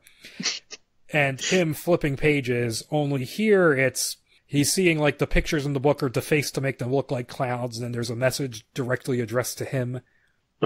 What are you looking for, or what are you fucking looking for? Something like that. Yeah, I can always scroll, scroll, scroll, scroll, scroll. scroll, scroll, scroll for a single. Yeah, for a single line. for a single line. I should have just written that down in my notes, but I was being uh, I was being lazy. I don't. You know what? Um, You know what I'm like. I, I I'm I'm oddly nitpicky on a lot of these little bits. I pick out. I remember and focus on the odd little bits. Yeah, Not on the character names though. yeah, Somehow says I can't even remember that. it, it says, "What are you looking for, Ben?" Now, what are you looking for? Uh, I don't know. I And- thought you swore. I actually really like what they replaced it with, though. I like you know the getting closer and closer to the severed head in the tree. Yeah. Not only Oh, because that it's would- creepy, not only because it's creepy, but because it's from the book. Yes. That And that's the the thing, head, the head being in the tree. Yeah. Yeah, and that's something I've noticed that um, these two drafts don't take a lot from the books, especially in regards to what scares the kids. Because you know, like the werewolf stuff from the book, it was in the Well, mini series. I mean, they almost couldn't do that because of copyright reasons in some places. Mm, true. But I always I thought those were big parts of what scared them in the books, and it's like they've ignored an awful lot. Well, '80s kids weren't going to be scared by uh, the creature from the Black Lagoon. No, that's true. Um, they they'd be scared of um, Cannon's latest film. I don't know. Oh yeah, the, the latest Chuck Norris movie. The latest shot. Oh my god! yeah. Oh no, Okay. not missing in action free. Yeah, the the one armed guy shows, or is it Braddock missing in action free? It is. It is. That's the nitpicky But, uh, thing I should have noticed. Yeah, the one armed guy shows up here as well, and I don't think he actually comes back in this. He doesn't. He just has the one little bit. He flicks a coin into a jar, takes a postcard, and that's it. He's gone. And also, um, I think this is where the reference there's this reference to the book the you know, the the history of Derry being you know hidden behind the radiator which i thought was kind of cool Yeah, and he asks he asks her, why is it why is it there? And she completely just changes the subject. and okay we get to the encounter with ben's encounter with travis and the gang and this goes differently very differently and it's another one of those weird things that they do where instead of trying to carve his name into ben he Travis uses, you know, this what's called a Rambo knife here. So I'm just imagining a gigantic knife. He, Yeah, he's trying yeah. to, um, he's trying to um, prod him into jumping off the bridge because apparently, snatch, take a shot. His mother, the, the counts, the, the guidance counselor told his mother that they moved to Derry because in their previous home, Ben climbed up on his roof to try and commit suicide, but then back down, and now they're going, we're going to make you finish the job. Once again, this is something that we never get any confirmation on one way or the other if it actually happened or not. No, and it's for something so throwaway, it's incredibly dark. But then again, it could have been Ben who takes Stanley's place in the start of part two. Maybe that is possible. That's the only thing I can think of, and then they just give Bill slash Will Ben's romantic storyline for part two instead. Which they honestly kind of just gave him in the book, anyways. Yeah, true. That that's one thing in the book I have never liked. Is is that whole thing where they just where where where adult Bill and Beverly just fuck because it's like, dude, you've got a decent wife. Fuck off. Yeah, but then again, don't forget what um, Beverly remembers when she sleeps with Bill in the book. oh yeah, yeah. She remembers. She remembers the train. The train, yeah. But um okay, so Ben does eventually jump and he gets banged up, but he lives. And at the bottom he meets this old guy who's a fly fisherman who scares off the bullies and he's Bob Gray, who that name actually comes into this. Pennywise in the book always introduces himself as I am Bob Gray, also known as Pennywise the Dancing Clown, which Which is how he introduces himself to Georgie at the start of the script as well. yeah, and adaptations never want to go with that for some reason. No, I think they they're probably worried about humanizing Pennywise, making him less monstrous. And he's described as looking like Pennywise without makeup, so it's like Will Poulter in old in like age makeup. Yeah, it, well, yeah, they'd have to do like the old age, older age makeup to, for it to work. Yeah, but like, and what's weird is that like he, he's he's talking to Ben, and he goes like, "So it's true what they said, huh? Maybe you should just kill yourself." And I'm like, "Okay, you're you're Pennywise from the YouTube comments now." yeah, and it's not clear exactly what happens here because you know Travis, Snatch take a shot, and Victor and uh, Hockstetter they come down. They they come down and suddenly like within like minutes both of them have disappeared and it's not clear what happened. yeah, because um, Gray has taken Ben's hand and they've just they just vanish, and so because they've gone, it's like, oh, I've got to look for my knife now instead. Yeah, because My dad brought it back from Nam. So, yeah, so this whole weird thing with like with like it turning into fucking the guy from On Golden Pond is not really. Now that's a random reference. Yeah, it, that's basically what it is, though, right? It, it, it is. It very much is. I mean, why? uh, I like that actually. That's pretty. It's just Henry Fonda, just Yeah. there. but like, I mean, it it- just feels kind of like a, a pointless sort of let's give Ben an it encounter here. Well, yeah, it's like we've got to give him more than what we than the backseat of the car that was in the previous draft. And now the car still drives by, but it's just you know the couple in the car ignoring them. Yeah, But yeah, the idea that you know the Rambo knife came from Vietnam is interesting. Again, it's they're very much throwing more '80s references in this in this draft. I think. All right, and so we get the uh, the pharmacy scene, and you know it's it's basically the movie now. We do the creepy thing with the pharmacist and the Lois Lane line. Although actually, well, yeah, because we uh, go back just ever so slightly before the pharmacy scene because we have Bob Gray and Ben vanishing, and then the next time we see Ben, he's just running out of the woods, all bloodied and cut up and all this. So you wonder if it was there's like a weird cut and paste job. Yeah, Yeah. it's weird like that. Yeah, it just it just seemed again made that whole them disappearing out of place because you think you're disappearing. Oh, they oh oh I actually thought we were going to get a shock and Ben was going to be killed off right there and then. Yeah, it's it's very odd. So okay, we get the pharmacy scene, And then we get Ben. They go to Ben's house, and you know they show his research into the history of Derry. and they talk about the Black Spot Fire, a mother who drowned her kids in the standpipe, which is a bit of a different version of something from the book. Yeah. And they make mention of the original colony disappearing and how it was situated near where Neibolt Street now stands. Yeah, that's where the well is. The original town well is somewhere near in Neibolt Street. And so they take Dorsey's shoe to the police chief, who's hanging around in the burger joint. But it's clear that they're, they're not really going to do much. And so we get some, uh, it, you get some scenes intercut. The, the, scenes with um, Beverly and the blood in the sink, and um, Bill dealing with his distant parents. Those are intercut with each other. Now, the blood in the sink happens in a different context here, where her parents are hosting some kind of get together, and one of her watching parents, a baseball match, I think. Yeah, and one of her her her father's friends, he just sits down on the couch with her and basically just starts making passes at her. So once again, Carrie. Yeah, and then when she gets up to leave, he smacks her ass and tells her to get him get him a beer on the way back. Carrie. So that so the sink stuff still happens all the same, so there's more people there. Yeah. And um, Will has his basement encounter with Pennywise and the Georgie puppet, which is more or less the same. And then the next day, the kids get barred from the Barrens again, and Ben's like, hey, let's go to the quarry. And then we get a scene of Travis here where we see him, he's putting ointment from where his father beat him. Yeah, on his back, he's rubbing the cream into it to um, cover it up. Which was filmed and cut from chapter one. But I think that would have worked a lot better because I felt like you only just kind of get a few references, I think, in chapter one to Bowers and, you know, how much his dad, how abusive his dad is. And it, it expands a little bit where he goes, he goes, before you go, get me a beer. He basically makes him serve him. Yeah. In the, in the deleted scene that's on the Blu-ray. So that really should have been in the movie. Yeah. I have to edit it, our own version. Well, I don't get why they cut some scenes because they only would have made altogether. They only would have made the movie like two minutes longer, but it's it's important stuff. Yeah, it's amazing how some good stuff and important stuff to make something more cohesive just falls through the cracks for some studios. Yep. And so, yeah, this is also where we learned that, you know, they're running the abattoir in this version. And so the kids, they bike past the Kitchener, as it's called here, ironworks on their way to the quarry, and we see the plaque here, and then the quarry scene is almost exactly happens almost exactly the same. Only Bowers and the gang show up this time, and they're hurling insults at Beverly. And as the kids leave, Beverly tells him to fuck himself, and Hochstetter is like, "Ha ha ha! She told you." She's got balls. Is the line. and, and Travis is like pissed off about it and like shoves him into the quarry, and they're like, "Dude, he can't swim." And th- this will be his chance to learn. Jesus Christ! And then Hochstetter he gets yanked under by Pennywise. So this is kind of um paying off that setup from the other draft.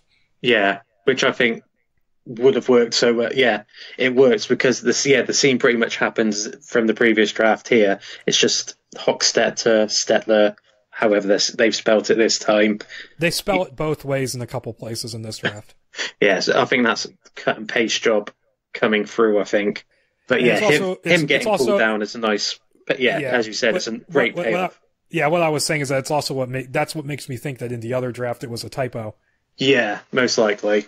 And so yeah, Travis, that... and I like this as a humanizing moment. He actually dives into the quarry to go get him, and he's he's he's diving around underwater, and he's he's not seeing him. He's completely vanished, but he sees the deadlights, which we thought... we don't see. No, but I thought that was a nice little touch as well to pick up on later. And we see that it is manipulating him even now. Yeah, and he shoots up and's like, "We can't find, I can't find him. He's forgone." But I feel like that's a nice character moment. He's willing to dive in there after him. Yeah, it shows it's like his friends are actually his friends. He just can't control his anger because of his dad. Yeah, and he gets and he's getting and he's getting you know pulled into you know its its machinations. Yes. And so this is where they go to her apartment and they clean up the blood, just like in the other draft. And just like in the other draft, they have to flee at the last minute as her father comes home, but instead they go together and they talk to the police chief at the burger joint, telling him about it. And this is where, you know, Eddie says, I saw a hobo, but we never actually see him see that. No, which I thought was a random. I did have to go back and see if see if I missed that bit when reading it. No, he definitely says it there. It's just we never get much. We just never actually see that encounter. No, that's what I mean. Because he said it, I had to go back and read it again just oh, okay. to see did I miss the hobo bit. Which is a shame because I like the scene in the movie. I like I like how you know it switches from the hobo to Pennywise, and Pennywise has the line where he says, "Hey Eds, if you lived here, you'd be home by now." which is creepy. It is. It's a brilliant line. It's how it's delivered as well. And so, um, and so Mike follows them out.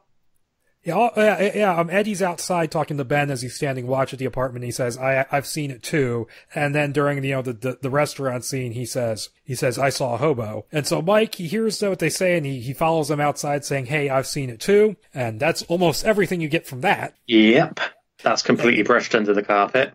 And it jumps ahead to the Fourth of July. And the kids, they arm themselves with fireworks to head out to the Neibolt Street house because that's where Eddie says he saw it. Yeah. And he really doesn't want to go in there, but Will is being really insistent about it. Like he's almost, it's like he's like he's a little too obsessed at this point. Yeah, which I thought I thought was actually what happened here. I thought was a really cool little bit. Yeah, and so he tries to basically force. He basically for because um Eddie points to the uh, the space underneath the stairs, which is where it emerged from in the book and he says, "Oh, it was under there." And he basically gets them to uh to cl- climb in through the basement. And Eddie wants to stay outside, and they're going to draw matches because Beverly burns one, but then they all come up unburned. That's right. Yeah. So they're getting so so it is manipulating time and space itself to get them all into the house. Uh, again, which I think is a little bit a nice little bit referencing the macroverse and what it does to people and so they go, they all crawl into the basement and they find the well when um, the floor collapses under Ben. And so Eddie's going to stay in the basement and Richie stays with him. And in, oh, oh wait, and they're still in the basement. Um, Will finds Georgie's boat in the furnace, which collapses into ashes when he touches it. Now, if that had been on screen, that would have been heartbreaking. You Yeah. know, that would just be So- all. And so Will, Ben, Beverly, and Mike, they head upstairs. And we get the bit where the door opens and closes, but instead of Pennywise being in the distance, it's a balloon floating by. Which is a bit more subtle, but I did prefer the Pennywise in the distance from the previous draft. Yep, and so Richie and Eddie they stay in the basement. They're eating snacks together, and so the kids upstairs they check the parlor and they see feet sticking out from behind a curtain, and they yank it open, and they find what I can only describe as Old Chief Woodenhead from Creepshow Two. That's how I thought of it as well. And Mike's just like, oh, that's what I saw at the Ironworks, and that's all you get about his encounter. I'm like, what the hell does this even mean to him as a character? Yeah, because he's not the history. He's not the history buff. You'd think that'd be more Ben, having read up on the history of the town and what had possibly happened to the first settlers. I mean, uh, you've got no, you got no reason to be afraid of Old Chief Woodenhead. You're not the guy from Mindhunter in red face and a shitty wig. no, with my long, glorious hair. which is gonna get me paid and laid. but of all the things to reference, of all the Stephen King things to reference, you reference Creepshow 2? No, which I think, which I think actually came out in '89. I think. Yeah, it did. So I think that's probably the only reason why the reference is there. Because, I mean, 89, I mean, Creepshow 2 is just the most random. I mean, the only reason people remember Creepshow 2 is because of the raft. Yeah, which was great, and the fact was that meant to have two more stories that got cut. yeah, people, I mean, Old Chief Woodenhead is okay, the raft is good, and the Hitchhiker, the only reason people remember the Hitchhiker is because of Thanks for the Ride Lady. Yeah, But you know, but okay, so yeah, that happens, and then you know they um they they go looking around some more. Ben finds an armoire with it has names of the victims scribbled on the inside. They find like bits of children's clothes. And um and they find there, there's like there's like a scrapbook in there, so it's almost like this is it's like like his trophy room almost, which is interesting. yeah. I was thinking that that which bemused me a little bit that it'd have a scrapbook. It's like It's like- Captain Picard. Yeah, true. And because and because I didn't really want to write this this out in my notes, I, I did a page reference because they find a picture in there in the back of it, and it's called a framed 18th century etching depicting a couple praying before the gates of a country house to an orange moon, their backs to a front garden littered with the corpses of children being eaten by a rudimentary yet recognizable figure, not bodied as a clown, but in the form of a humanoid demon. So that's a nice, you know, That it's a nice little visual that would to see something like that, and you know, say the camera would pan slowly across it till we get the humanoid Pennywise. But I mean, one thing I like about these scripts that does, um, it does give a bit of logic to why it likes this house. Yeah, it it's, it- it does center it a bit more. Because in the book, like, I mean, this whole thing about it being the well house and on the site of the first colony, that's not from there. It just likes this house for some reason.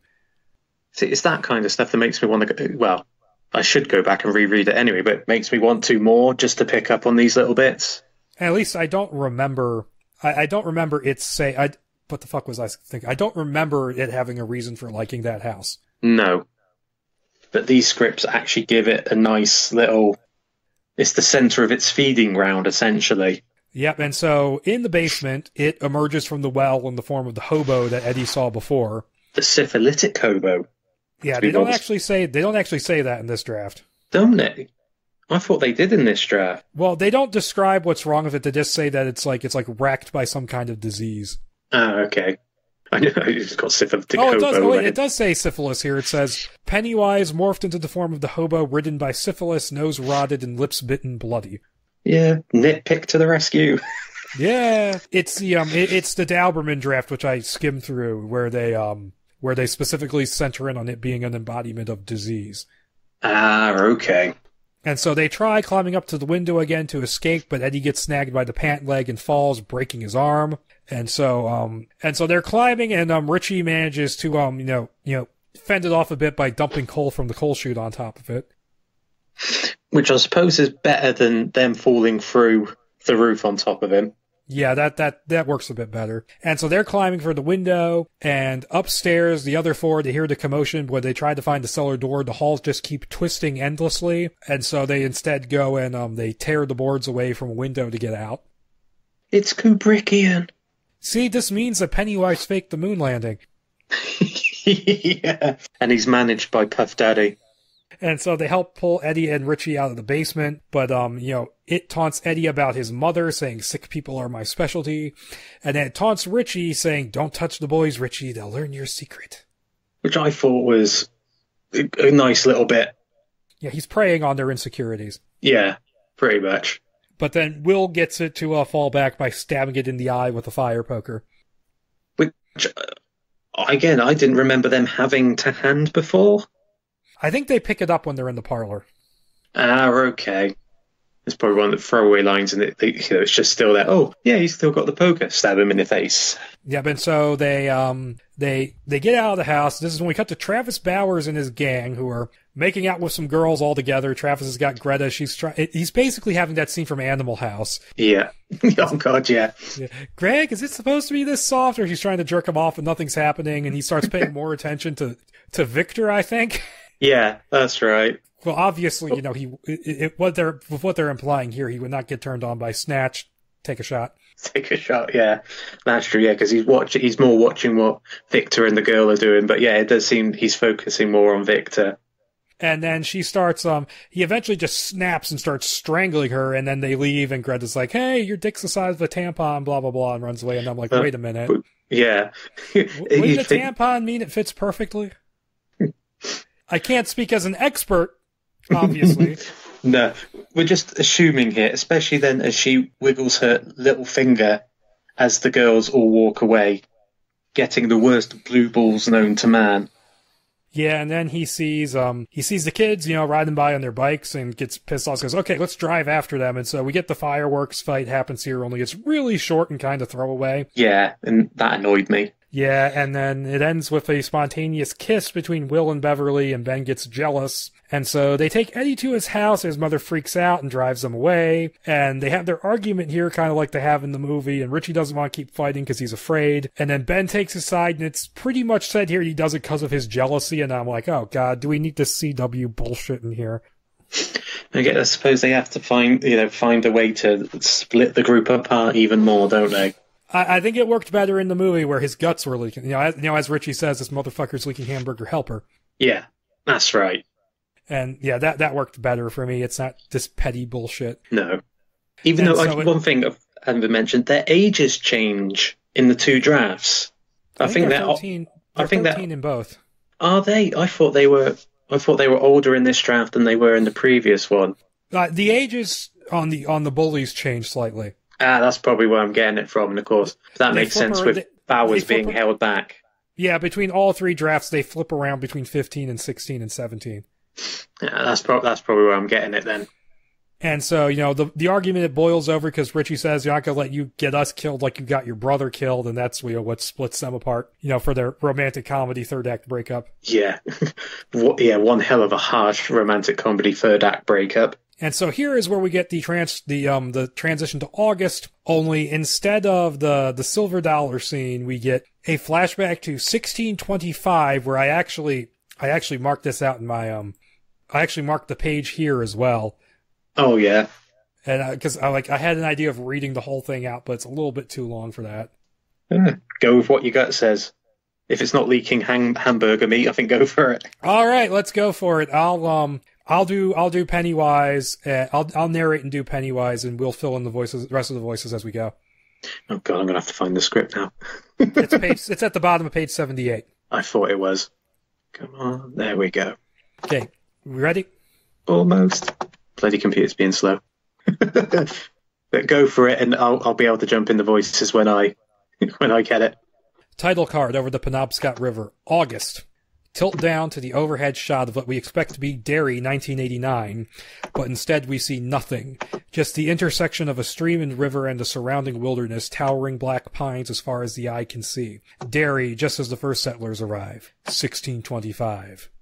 Exterior Wilderness Day, a line of white settlers with tall hats, black Puritan clothes, and deep set eyes have seen a million hardships, forged through the dark woods. They are led by a similar line of about 40 Penobscot natives. In the middle of the river, they come to a stop, protective, concerned. The pilgrim leader steps forward. A French translator works with the native leader. They speak in hurried, hushed tones as the native leader describes the land in front of them in Penobscot Algonquin.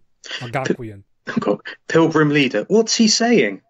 Translator, only broken land lies ahead. I was going to say, do you want me to do a French accent? No, well, if I was going to do a French accent, I'd have tapped my Arnie. um, uh, but what would he understand, have us understand by broken?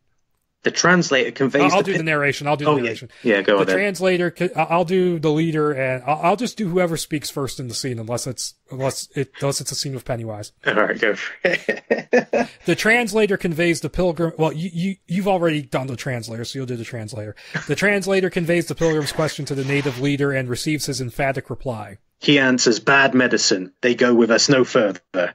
That is arable land. Whatever dispute you have with the natives of this place, we will explain to them as none of our fight. God bless our going forward. The pilgrim nods to his people, and the settlers continue to forge ahead, passing through the line of natives. The native leader can't help but look with great fear at the cluster of little children traveling with their parents. A bird-like creature with human eyes watches them from the water. Time cut to exterior Pilgrim Village three years later, day. A small village has been built within a logged-out clearing on the riverbank. In the thick in a ugh, in a thick pine forest nearby, men chop down a tree where two kids play on logs floating in the water, one showing off for the other. Watch yourself, Avery. Sorry about that. no, kids, I was going to do the same. Pardon to all the women in the audience. The kids laugh and josh, jumping the water between them and keeping their balance upon t- two two Misspelling buoyant logs. Unseen, a white hand darts out of the water, grabs Avery's leg, and pulls him under into the abyss. The pilgrim girl's face goes pale. Hearing the splash, the men look up, seeing only one child standing on the water's edge. Exterior Wellhouse Day. The pilgrim leader thatches a roof over a stone well in the center of the village, grabbing hay and filling it in. Through a gap, he can see a teenage girl with a baby on her back filling a bucket. He grabs some hay, looks back, the bucket swinging wildly on the rope, the girl gone, only the baby left there on the lip of the well crying. Hello, Sister Abigail? He hurries down the ladder, looking back toward the garden where she was taking the bucket to the others, and no sign of her either. Just as he jumps to the ground, the crying stops. He turns the corner through the door only to discover the baby is gone. He looks to his feet, the ground of the well house squishy and wet.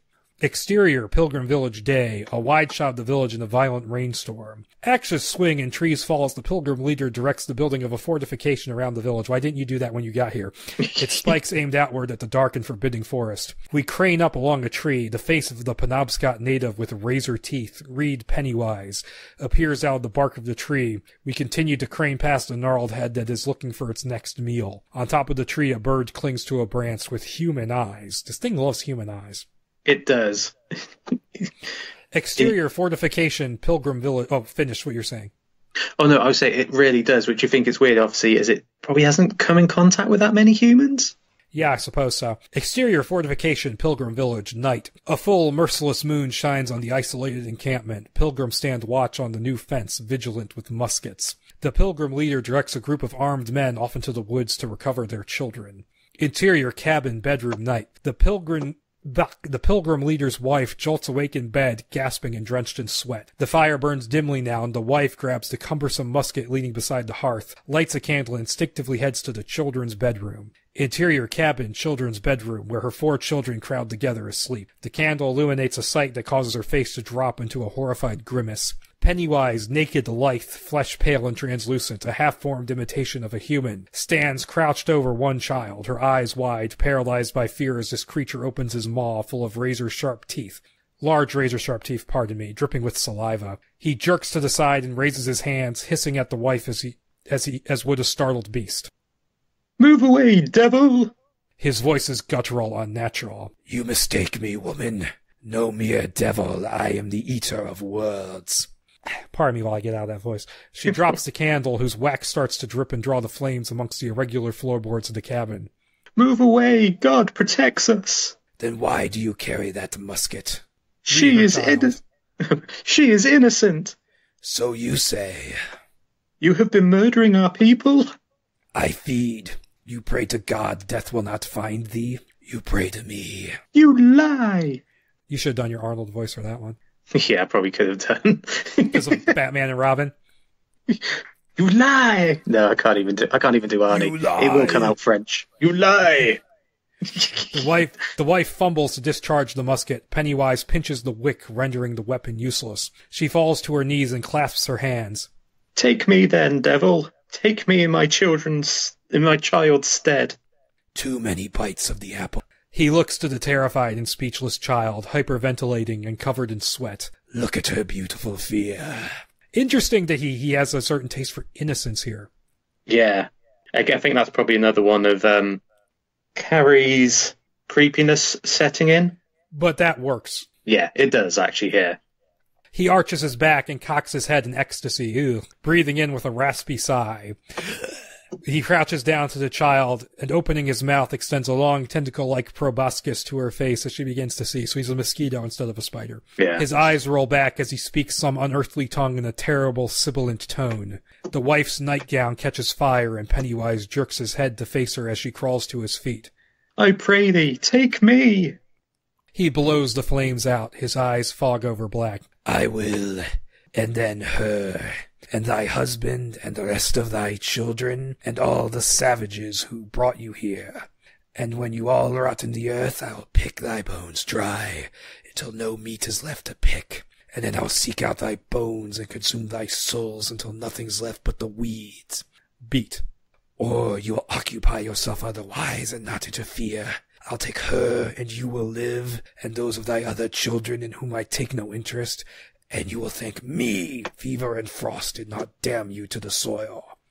The wife looks at her daughter, who continues to seize violently in the bed. They're both looking at her child. She begins to weep and crawls from the room. Pennywise smiles and pauses to savor his meal. He eyes a makeshift wooden trinket around the girl's neck carved in the likeness of a bee, yanks it off and sinks his teeth in, devouring her as the other children sleep. Interior cabin living room. The wife crawls to the fireside and covers her ears to block the sounds from the other room of Pennywise feasting on her daughter. She stares into the fire, glowing orange like the deadlights. It's closer what she sees in it in it. It's clear what she sees and it drives her insane. Unable to take it, she lets out a blood curdling. Exterior woods continuous scream echoes through the woods as the pilgrims spread out into the darkness searching for their loved ones, only to be quickly snuffed out by the forest's shadow. Cut two, interior, Neibolt Street House, first floor, day. Pennywise holds up the pilgrim child's wooden bee trinket to his now mutilated eye where Will gorged the poker, awash in the memories of what we just witnessed. It crushes the trinket, appearing rattled, scared even, then looks into the armoire with the scrapbook of killed children, where one newspaper in particular catches its eye. Boy 8 drowns in storm drain in freak accident, which is accompanied by a photo of Will and Georgie wrestling in the yard. With his grimy fingernail, Pennywise scratches a little clown face on Will, in blood. I actually really like that sequence. That actually, yeah, to me, that one works so much better than the silver dollar from the previous draft. Yes, and while I prefer the previous draft in a lot of aspects, I do think this has its moments where it really shines. Like some of the interactions between the characters, some of the little moments in it. The Neibolt Street sequence is a bit better. and a bit scarier. And, Yeah. Um, and that whole flashback is really cool. And I like the way they frame it as Pennywise reminiscing on his past. Wh- yeah, which works a lot better than the jarring of Ben reading the silver dollar story in the previous draft. And this scene was, in some form, filmed for chapter one because there was talk about it in the test screenings and it got cut. And there was talk of, oh, it's too much, it goes too far, oh, it doesn't fit with the movie, oh, it, um, oh, we're going to repurpose it for chapter two, which they didn't. Which is a shame because if it's a scene you talk about so much, you want to you want to see it rather than just discard it. Yeah, and maybe it could be in the extended cut of chapter one, which they promised nearly two fucking years ago and still haven't made. That's true, but they have said there's going to be an extended cut of chapter two. Yeah, they've said that already. Which I mean, as long as the movie is, I can kind of see where it could use a uh, an extended cut because certain things just feel really like they passed over them really quickly. Yeah, they wanted to focus on what they deemed important. And of course, there is a version of that flashback scene in the Dauberman revision, but it's cut down a lot, and it's mainly just Pennywise eating the child and confronting the wife. Only there, it's a baby. Oh, okay, yeah, which is I think how the deleted scene from chapter one was described. Yeah, except and there's like one screenshot from it of like Skarsgård in like this weird makeup, which I don't even know if that's legit or not. Who knows? Until we see it, we can't really know for sure. I mean, I'd like to see it in some form. It's not on the Blu-ray, which is why I thought it would be in Chapter Two, but Well, hopefully, it'll be on the chapter two Blu-ray then, or the extended edition. Or in that Peter Jackson, we're going to cut the movies together extended cut cut that they're talking about. yeah. Oh, that'll be interesting, actually. Yeah, they're talking Pretty about about editing them all together so that they interleave the way the book does. Ah, so essentially, it'd be uh, they'd remake the miniseries in that regard. Yeah, yeah, only with a worse final form at the end. Oh, sorry. Burn. And so Will and Beverly, we see them getting ice cream together, and they talk about some things. And it's here in this draft where it's made clear that Will didn't write the poem on the postcard. And he also asks her about whether those uh, dick sucking rumors are true, and she tells him that they aren't. And now, God, that's a phrase I just coined. yes. And you know, her father sees them together from his window, but they don't notice him. No. And so Will tries to talk to Eddie, but his mother shoos him away before they find out that his EpiPen is empty. And we also get, you know, the scene of Butch Bowers abusing Travis here, only here it's the cattle, you know, the No Country for Old Men stun bolt gun that Travis is playing with, and Bill and Butch tries to force him to um, kill a pig with it here. But when Travis won't do it and then fucks it up, you know, he mocks him for it and then he like cuts the pig's stomach open and spatters him with blood. And he says, all it takes is fear and some of God's good gore to make a paper man crumble. Still a good line, but much better in the film. Yeah, I like the cop thing with the gun. I think it's it's a simpler, less, you know, drawn out scene, but it is horrific the way it's described here. Oh Christ, yeah. Especially when he start, you know, it's going to be gaming, and then he just cuts it open, and he's also mocking Victor and Snatch. Take a shot for Yeah. being for being with him. And so, you know, we cut to, and this is, I think this is the last of Creepy Cary's weird additions. Yeah, it is in this in this draft. It is. Yeah, and so we cut to um, Beverly's father, who here he's the janitor at the hospital, and he's approached by an elderly patient who's described as Pennywise without makeup, and it said that his ass is sticking out the back of his gown. So yes, we get to see Pennywise's bare ass in this. Was it completely over the top? See the crack in his ass? Yes. But uh, but yeah, so once again we get Pennywise taking on the form of a fucking person for some reason. It's it's a in this draft. It's a really ill-defined ability of his that he just taken like random human forms.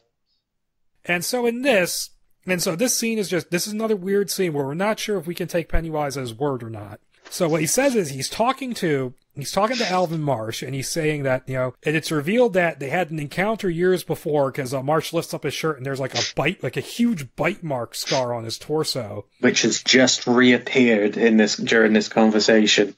which is something that is a thing that happens with, you know, Derry and it and stuff that happens to you in Derry just disappears once you leave. It's part of the magic of the place. Yeah. So clearly Cary has read the book. Oh, very much. He has paid attention, but it's just he hasn't used much of it. Oh, and I should say the whole Puritan flashback. What I like about it is that it it's not from the book, but it feels like it would fit in with those flashbacks. Oh yeah, definitely. It does feel like a very king touch. Okay, but here's the here's the weird thing. Apparently, apparently Marsh, way back when he was young, he was preying on this this 13 year old girl. And the way Pennywise describes it, he says, You took your bite and I took mine. And he says, You owe me because I spared your life because, and he says it in a weirdly ambiguous manner. But what he's basically saying is that I spared you because I knew you would go on to rape your daughter multiple times over the years. Yeah, it, I think that is what it's hinting at, that that's going on. Yeah, That's what Pennywise is basically saying, but then Marsh says, No, I didn't do that. I've been trying to protect her from you all this time, which is an interesting angle that he was attacked. He doesn't remember it, but that's subconsciously why he is so overprotective. yeah, But the whole thing of him going like, Well, I saved you so you could rape your daughter. So the implication is that Pennywise is saying he's been raping Beverly all along. or yeah, that's the implication. But then the But then Marsh script, says Marsh says, No, it didn't happen, and the script never confirms it either way. no, and the way the interactions between Beverly and her dad earlier, it hints that that hasn't happened, but she's worried it could. it's it's all really strange and I don't really and bear in mind this dark serious shit is happening while old man Pennywise has his wrinkled ass sticking out of the back of his hospital gown. Yeah, which would have been um, wrinkly old Will Poulter-ass. I don't know, I've never seen his ass. I don't know. I'm just assuming because that's who that he would have cast. I, I'm just ima- I, I'm just imagining like Tom Hardy following Pennywise around using his voice from The Revenant.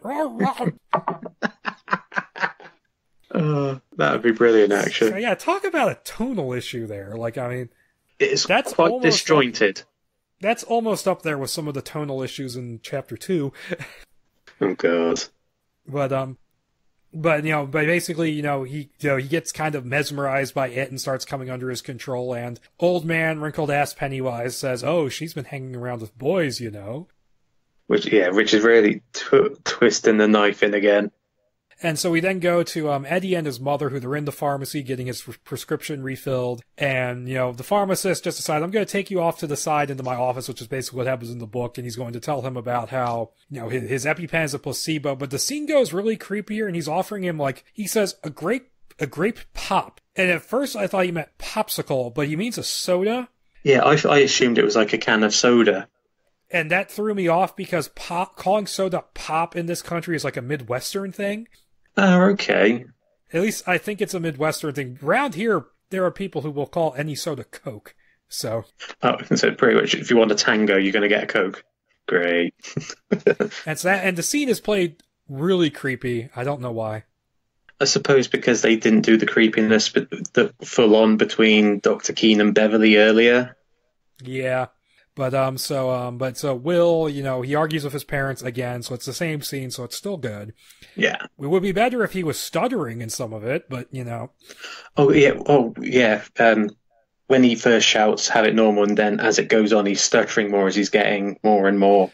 or he starts stuttering, but as he, as he starts to, you know, stand up for himself, it comes together a little more. Yeah, actually, that would work a lot better. And so he bikes away from his house in anger. And then we see Travis, you know, after he's cleaned up the mess he made in the um in the um in the abattoir, he finds the knife, the Rambo knife in the mailbox. Only this time there's you know dead lights in the back of the mailbox, which we still don't see. They shine on his face. Again, nice callback to the quarry.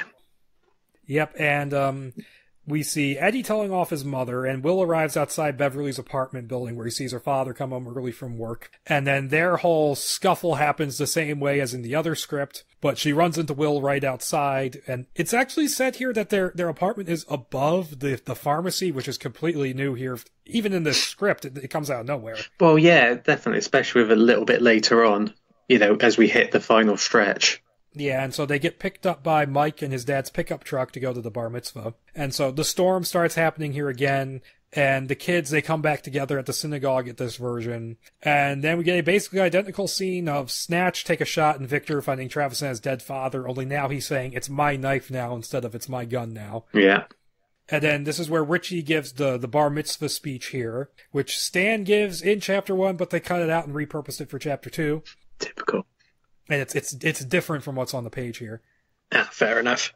and and it's actually a really good speech about you know the indifference of people. I think I think it, it works. It, it's a really well written speech. Well, yeah, because um, at the end of it, doesn't he look up and he sees he, he sees them and tears are rolling down, you know, tears rolling Yeah. down Beverly's face, which I think would be a nice little visual as well to bring them back together.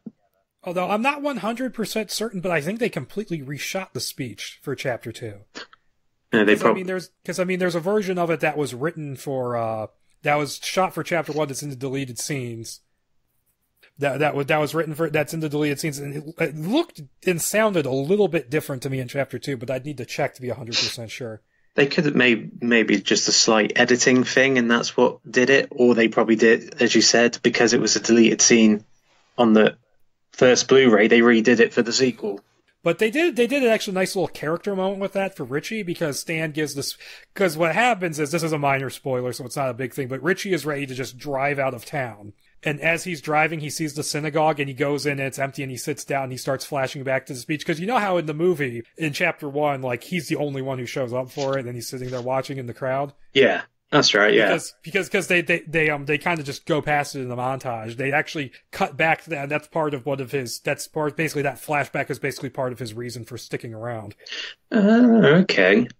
But no, the speech in the script says says um he he starts to say um I guess what I like about what I read is what it says about indifference. And he gets cut off when the kids show up. And so he he, he picks up again later he says when you're a kid you think the universe revolves around you that you'll always be protected and cared for. Then one day something bad happens and you realize that's not true. Suns go out and animals go extinct and countries go crazy and kill people they don't like and none of it seems to matter kids get sick good friends or someone gets sick in your family or maybe you do and all that makes you feel alone like you're by yourself in a world that could care less who lives or dies where nothing counts. That's why our friends and faith and family are so important. As long as we have a connection to each other there's a point. If we count to each other things matter. We do even if to the universe we don't. And in the movie it kind of he kind of goes off in a bit of a different direction and he says you know he's about how he is a loser and he always will be. That that's what it changes into. And that actually is a really good speech because it kind of taps into the way Derry kind of divides people. Which, yeah, it's, it is actually you know a nice little way to tap into that and to keep that weaved in as part of the story. And you can tell Cary had just made True Detective because that's almost like an optimistic Rust Cohle giving a speech. Yeah, like something from the final episode, sort of thing. The final episode, which I actually like. I, I know people don't, but It's a well, for some people it's always like a Marmite sort of thing, like a that kind of series. And so the the reception this time it takes place in the bingo hall, and Richie has his friend step outside to apologize to him, but the door closes and they get locked out, locked out, and that's when Travis, Victor, and Snatch take a shot, show up, and begin chasing them.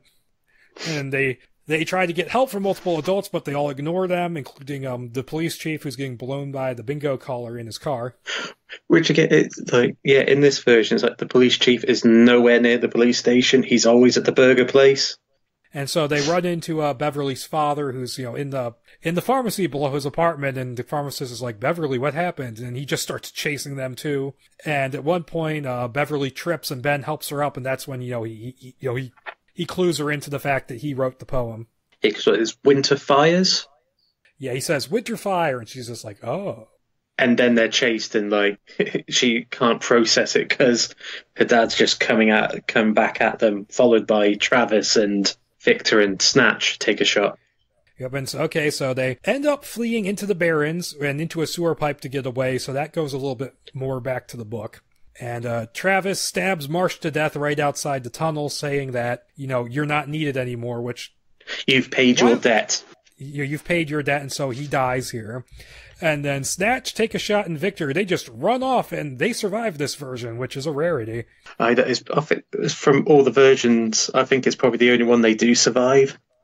You know, as opposed to uh, disappearing into a deleted scene like they do in Chapter 1. yeah, buggers. because because there's a scene they cut out which they did not repurpose for chapter two where you see uh where you see uh you see you see Henry and the other two guys because you see his car pull up outside the Neibolt Street house and it cuts to inside the car and they both have their throats cut. That's right. Yeah, that's probably one of the few deleted scenes I've actually seen.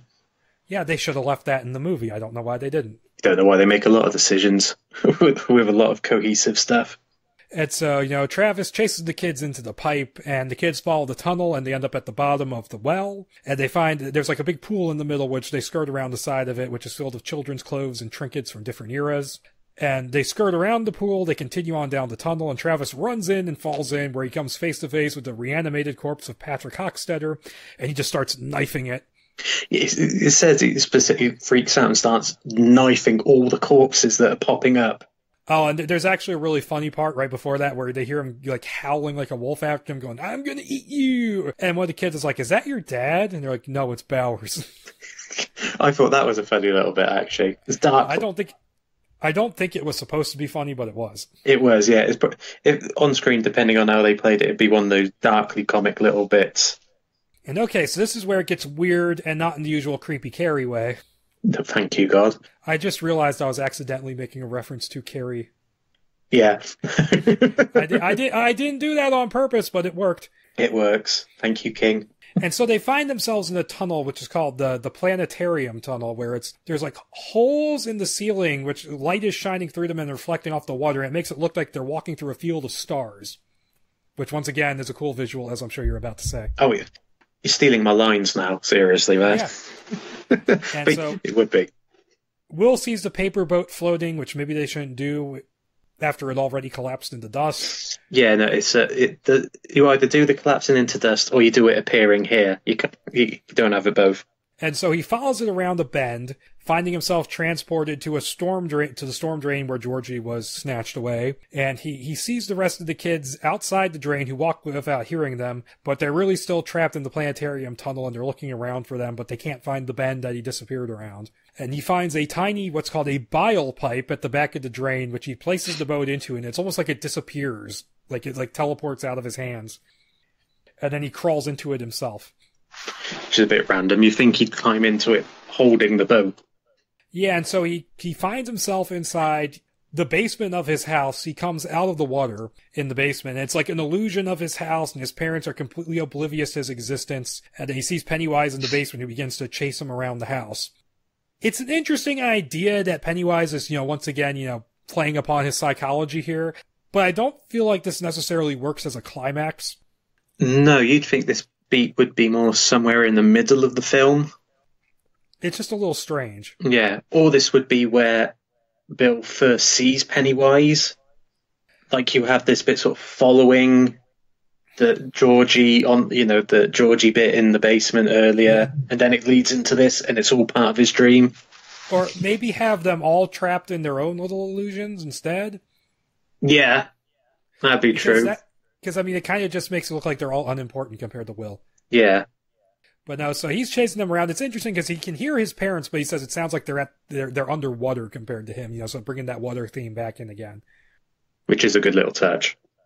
And so, and it shows that the other kids they're in the planetarium tunnel, and they're all sort of trapped in a daze and it's shown to be like and it pulls away from them like beverly's the only one who isn't really trapped in the daze and so it pulls away from them it shows that they're inside pennywise's eye which your catchphrase which would be a brilliant visual yes it would be the idea that like he's like one and the same with all these locations in Derry, it's a good visual shorthand for that. Yeah. But she eventually, you know, pulls them into, together into a circle, and once again, you know, centers them. Yeah, she she looks them she looks them all in the eyes, and then takes their hands, so she's their focal point. So no train getting run here. No train, no. Always with the hands in these versions.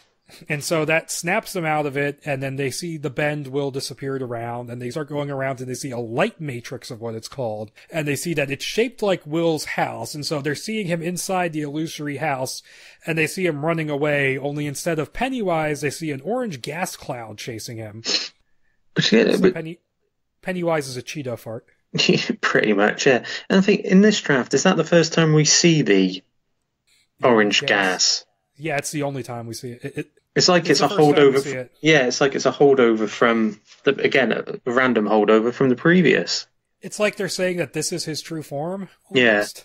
Yeah, which makes a mockery of the whole spider thing, which was meant to be the true form. Kind of makes a mockery of the the deadlights too. Well, yeah. Because I mean, we built up the deadlights, and now oh, they're just orange gas. Yeah, it's, it's when you open a can of Tango and like the you know the orange fizz comes out. And so he's running away, and Ben ends up breaking the illusion by chucking a rock at the orange gas, and we see it affecting Pennywise in the illusion. And they all end up transported into the storm drain. So all eight of these people, Pennywise and all seven kids, they are all crammed into this tiny storm drain, Itty bitty living space. which I I can't I can't picture this really. It's too awkward. Well, yeah, because you do want. Yeah, I can't even picture how you'd film it unless it's just unearthly large, or the storm drain runs under the whole of the pavement. Unless it's just a massively large Tim Burtonized sewer. That possibly, yeah. Expect Danny DeVito to walk round a corner at any moment. But so they just they just pelt him with rocks and subdue him. Actually, you know what? You know, if, if Penguin was raised in this sewer, it would explain where all the clowns came from. that's that's true, actually. Yeah. Well, they they do explain that in the movie, but it, it's it's it's a funny joke. But as it is, pelt the shit out of him with rocks, like like he just said, Jehovah, and uh, Life Yeah. of Brian. Anyone? The meal was good enough for him. No one throws any single rock, even if I say Jehovah. Ah, And it even it even um it even um it even uh, it even connects to that in the sense that Will is about to uh, crush his head with a massive rock, and then it tries to do the uh the thing where it tricks him into the Georgie thing again. yeah. But the call and response thing doesn't work because the response isn't quite right, and then he looks back down, and then Georgie looks back up, and it's Pennywise's face underneath the the hood of the slicker. Which would be nice on screen. It would be a, it would be a it would be a stunning visual. Yes, it would. And then Bill just crushes its head with a rock. And so um, Pennywise's body collapses into dust, and the orange gas escapes and floats into that bile tunnel, I think. Is that is that one random fart escaping? Death fart instead of shitting himself like a Golgotha, he farts himself. and so uh, the tunnel's flood with water, and the kids get swept out into the quarry. Which would be a stunning visual. Yes, it would be. And it's almost like they're trying to do the uh, the reflecting pool of the gravity reversing again, only lower budget. Yeah. And then Travis and the dead kids' bodies, they get spat out at the abattoir, and he sits, he blinks and sits up from the middle of the corpses, and they, um, and like one of the abattoir workers looks over at him, implying that this is how, you know, he gets framed for the, uh, the thing. And that scene actually, uh, the abattoir isn't, you know, the Bowers place in the, in the movie, but that's a scene that was filmed for chapter one, and they repurposed it in chapter two, him getting swept out into the barrens with the corpses. Ah, okay. So yeah, that would have been nice if it had actually been in chapter one. Yeah, once again, and it would not have taken up that much time. Just like ten then- seconds at the end. And then Georgie's corpse gets expelled by itself from the sewer pipe in the Barrens. Poor little Georgie. And so then it cuts ahead to September, and we see Beverly's family mourning her father's death. And Beverly and they're having like the wake or whatever at her house after the funeral. And so Beverly and the rest of the gang they meet outside on the fire escape, and this is where they swear to blood oath to fight it again if it ever comes back. And they're all shown splitting up again the next day. It's very, very stand by me. You expect the Richard Dreyfuss um, voiceover at this point. which they do a sort of a, a, a visual homage to um, Richard Dreyfuss in um, in Stand by Me in Chapter Two. God. Uh, yeah, I can't wait to see it now, just to be picking out all these little references. Yeah, and so they all um and so they all split up, and we get the idea that Richie has now sort of gotten over his um his his unsureness because Bill straight up says, "Hey, you want my mom's playgirls?" I, I thought that was quite a little funny bit. Yeah. And he goes to his home. He hears his mother playing the piano again, but here it, it's more bittersweet, and they don't precisely say it, but isn't it implied here that his parents are splitting up? That's what I thought. Yeah, I thought that was where they were heading with this. They don't actually say it. Say it. No, it's just you go off with your dad on this trip, and we'll have our own trip at Christmas. So that kind of says, is she moving out? Is the dad moving out, and he who is he splitting the time? Yeah, it's it's it's not clear. No. But um, but Beverly shows up, and right before he leaves, she says, "Hey, even if we're not best friends next year, if we drift apart, you were important to me. You were important to all of us, and don't forget that Georgie loved you." Which I don't think that was ever in doubt. No. Yeah, that's a line you didn't need. Just the you're important to us. And so the and so you know they leave in the car, and then it pans up to the sky, and we see a single balloon floating, but it doesn't pop. No, it just keeps floating. More ominous this that ending. And so and so this draft, it's stronger in some ways. The characterization is a little tighter. Some of the some some of the scenes are a little bit better written. It's a little it's a little better structured. The Neibolt house is better. The I like the uh the flashback with the Puritans. Yeah, but for But like, I mean, there's just just enough things done in this that just makes me turn on it. Yeah, but to me, uh, the the previous, the first draft, I feel is a lot better. But I do agree with you on some of the characterization. If Mike's characterization from the previous draft had been in this draft, it probably would have been a whole lot more better And kept Stan. and kept Stan and kept the extended fireworks fight. And kept you know the actual transformations and not him turning into fly fisherman Yeah, and and Henry Fonda, It's Henry Fonda and randomly vanishing and then him turning into pedo wise in the in in the synagogue. into and the random hanging ass cheeks in the hospital. Yeah, that's just like you could pick any shape you want and you go for this weird shit. Like I mean, I understand you're on a budget, but come on. Yeah. It's just like this one is like, oh, we've lost 10 million of the budget. What do we cut? And I feel like seeing um seeing Eddie's you know, seeing you know hearing about Eddie seeing the leper and then seeing it when they're in the house, I feel like that works better than him just saying, Oh, I saw it in this house and then never hearing anything else about it. Yeah, actually seeing again what he's seen, that does work better. Yeah, that that works a lot better. So yeah, this draft is it's better in some ways, it's worse in a lot of ways. I don't think either of these are are are really where it needed to be. But the thing with this draft is that if he kept pushing in this direction, I'm not sure I would have really liked the movie all that much. No, although in some parts it may have been stunning visually. Of course. What ended up happening is at some point, at some point in 2015, Fukunaga stepped away, and allegedly, you know, he was saying, "I wanted to do like this, this elevated horror movie," eh, which has become just such an annoying term because it seems like every horror movie that comes out is an elevated horror movie. Wi- Yeah, it's not afraid. Yeah, but then again, when you come out of the torture porn era, any horror movie is elevated. And now, now it's like, come on, just get away from the fucking ghosts, please. Yeah, But um, but, but yeah, he walked away saying there was creative differences and stuff like that. And New Line just wanted a generic horror movie, which I wouldn't say Chapter One is really that. Chapter One is almost more of a drama than it is a horror movie, oh yeah, definitely. ways. Yeah, which is what it really should be. well, yeah, because it's that whole yeah, that whole change between childhood and adulthood as you see the world for what it is. That is more And of a it- drama thing than a horror. And it also had more actual scares, whether or not you like the jump scares, than this later draft had. Hmm. But here's the thing. That's what he says. However, there are certain there were certain rumblings and rumors about why he was actually let go. Is that and this I actually had to, to do a bit of um a bit of detective work on this because it was being mentioned on the IMDb forums Ooh, intriguing. around and but what happened was apparently there was a a forum that was set up for parents of child actors and they were um complaining about how like he had put a lot of this really bizarre sexual material in there and i actually did make i i could only view the thread by making an account but i actually went there to verify that this stuff was there and it was there they were talking about this apparently they were talking about a girl describing a gang rape being gang raped so i'm guessing beverly Yeah. Beverly's father trying to pull down her panties and trying to put his fingers inside them during his assault. Oh Christ. And here's where it gets really weird some of the Travis Bowers stuff. Raping a Travis raping a sheep What? and masturbating onto a birthday cake. Okay. Now, I want to say I can't fully confirm that because I haven't read a draft that actually has that stuff in it. But according to what I read on that forum and according to certain rumblings and rumors, that was the real reason why Fukunaga was let go.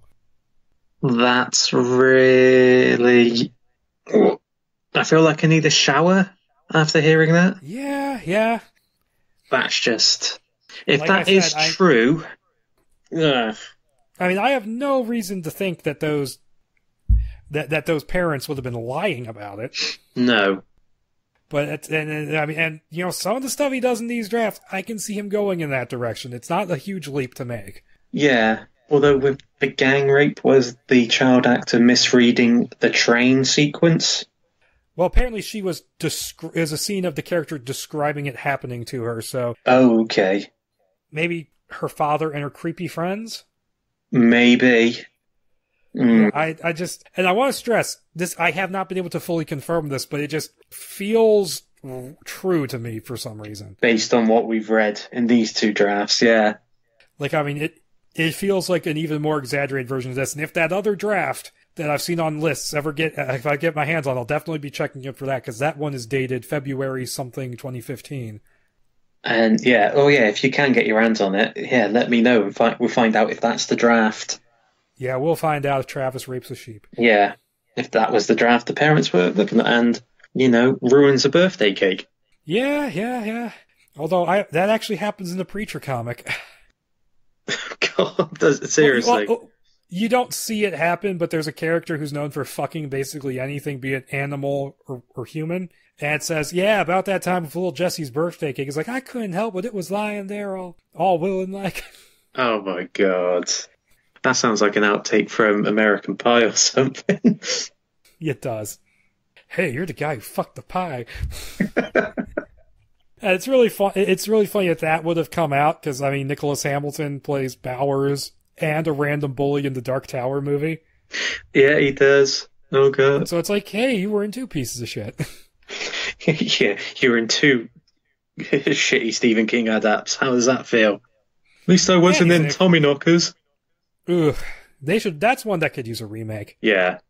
Because there's potential there. You just can't do it on a TV budget. At least not back then. No now you could do it now. Say like HBO miniseries sort of thing, or Netflix or whatever. Honestly, you don't even need a miniseries. You could do that as a movie. You don't need mm. to go into all the side characters in the town. No, I suppose if you wanted to, you could do it as a miniseries. But yeah, you could cut, you could cut a lot of that extraneous stuff, and yeah, you got a good two two and a half hour movie. It's it's not like it's not like need, needful things where you need all the different characters because that's actually important. Yeah, now that I'd like to, see, even though I did enjoy the film, I would like to see that as a re, uh, remade miniseries. You see, you see, I would just like to see the actual full miniseries version of that. Is there actually a full miniseries version? It it originally aired as a miniseries, but they cut it down for a theatrical release and put some R-rated material in it. I've ah, and I've only ever seen the movie version. Because I've seen the beginning of it on TV where Ed Harris's family dies in a car crash. I've never seen that. I've never seen the whole thing, but that does exist. Oh wow! I have to search for that then to complete my collection. I mean, if it even exists out there anywhere. I mean, it could be just be disappeared into the ether. That's true. There could be a work print of it online. There's always a load of work prints out there. Oh yeah, I'm sure. Uh, but yeah, I think that. I mean, I think that covers the uh, the scripts. I could mention the the Dauberman revision a bit because even that has a completely different third act, almost. Almost, oh god, yeah. But all, because that, all of these scripts have had a different third act to them so far.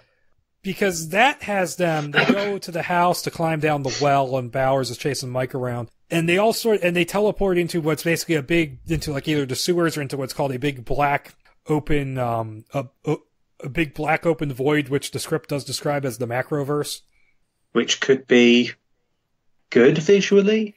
Yeah, it's described as basically being a big open void. Mm and there's a fi- there's a well and um, Pennywise is that carriage you see in the in the picture in the trailer for chapter 2 where it's like the Pennywise the dancing clown carriage. Nice. That's there and like the deadlights are like in the well and like Bev is looking into the well. And Stan, you don't see his fear initially. You see him in the synagogue and he looks up at the painting on the wall, which is a, um, it's a picture of Judith from the, from certain versions of the Bible and she's naked and covered in blood. Oh, yeah, yeah. And then when he's in the macroverse, they go into the into the carriage to try and find something to help Bev, and then the naked woman covered in blood comes out and starts um, starts moving at him. That could be quite interesting. Yeah, and the whole thing with um with the uh, with the Jack in the Box Pennywise is in the is in that carriage in that draft. Ah, Okay. And, and, there's some different stuff in the Neibolt Street house. Like Penny, there's a bit where Pennywise, you know, he moves in on like a squeaky tricycle, sticks a gigantic screwdriver into a wall outlet, and then electrocutes himself until he changes into a monster. Okay, that would actually be quite funny and also creepy to see. Very Looney Tunes. Yeah. Or Tex Avery sort of thing, yeah. But no, that but that um, but that um, that final draft where they're in the uh, that that third act where they're in the void, and they what they do is that they they they destroy the physical form of Pennywise. Then you see this just some like barely visible like black amorphous shape slide off and down into the well where the deadlights were. Ah. Essentially, that's an even cheaper budget version of the budget's just going down as we're getting through the drafts. But they changed that for the movie, and uh, I do like what they did with the climax in the movie with the "I'm going to kill this fucking clown." Yeah, that was nice. And, uh, and getting to see the dancing clown actually dance. Know, the amount of memes that you got from that. I have no idea whether that is creepy or silly or both. to me, it's a bit of both. It's the, the look on the face and the visual around it. And he's moving like a puppet. Yeah. But the whole body moves, but the head sort of stays still. And to me, that's just the whole thing. It's just the look on the face with the music. It's sort of like you want to laugh, but you're uneasy about laughing. Yeah, so yeah. See, I think we kind of got the best possible version in a way. Yeah. Although I will always shout for the July the 4th firework fight. And which which which element, which other elements would you would you um stand? Because I would stand up for a version of the Puritan scene, and maybe some of the crazier, more cosmic stuff that we get in here. Yeah. Oh, definitely. And um, I know I feel like Mike's characterization in the first draft here, just little bits of that to bolster his stuff in the film. Yeah, because at least because at least in the movie he gets a little bit of character and backstory. In this second draft, he's just like nothing. No, he's he's just he is literally just a token black guy. While in the Yeah, pre- previous draft, he's full bl- a full blooded character. He he's a token black guy who's a scared who's scared of old Chief Woodenhead. Yeah. But yeah, I think that sums it up. I mean, it makes me curious to see what he would have done for uh, chapter two. It would have been interesting, and there are bits in both drafts you could see where elements could be weaved through into chapter two, especially say in the undated draft. Ben say possibly replacing Stan as the suicide victim. Well, yeah, and in, and in the dated draft, you see Stan gazing into the dead lights, so that's setting up for the suicide. Yeah, so you got all those little bits there that could eat so easily weave through. So it would be interesting to see what he would do. It would have been interesting to see what would have happened if they maybe took another year to try and work out what they were going to do with the actual movie. But Yeah, very true. And yeah, if the rumors were, you know, if he wasn't supposedly so creepy with what he was writing, you know, we might have gotten something. But yeah, I think that uh, sums up. It was it was interesting reading these. Yeah, it was actually, yeah. Yeah, You know, I did, I did enjoy reading them just to seeing where people could go. they were they, they were interesting in that they're in this weird gray area where they're not technically bad, but especially that second one just makes so many weird choices. It's hard to really come down where I feel about how I feel about it. Yeah. It's sort of yeah, it's like one of those where they were they were both different first drafts. Yeah, like it, it, it's almost like we're seeing two different directions. Yeah. And here we go. Here's this like which one was Cary's and which one was Chase's sort of thing. Well, they work together, so Yeah, but if you split them apart, because they both wrote both scripts, you could say, oh, which one was more Cary's vision, which one was more Chase's vision. But uh, okay, so um, I think that pretty well covers it. Yeah, I think it does as well. You know, we don't go fully into the macroverse, but we touch on it more than these scripts did. Yeah, and uh, more than chapter two did.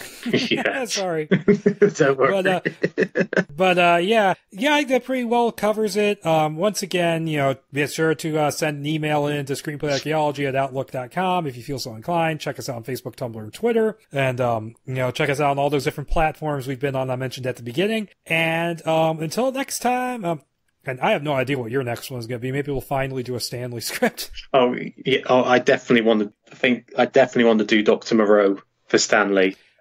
Yeah, that's that one's actually that's actually a really good script. It is. It is. So Yeah. yeah. I think next time, I think next time the folks at home, the folks at home will hear me. We will be finally talking about Richard Stanley's The Island of Doctor Moreau or Jeepers Creepers. or Jeepers Creepers. Speak, speaking of pedophiles. oh God. okay, on that note, um, I think you know. Hope you enjoyed it, and until next time, bye. Bye, guys.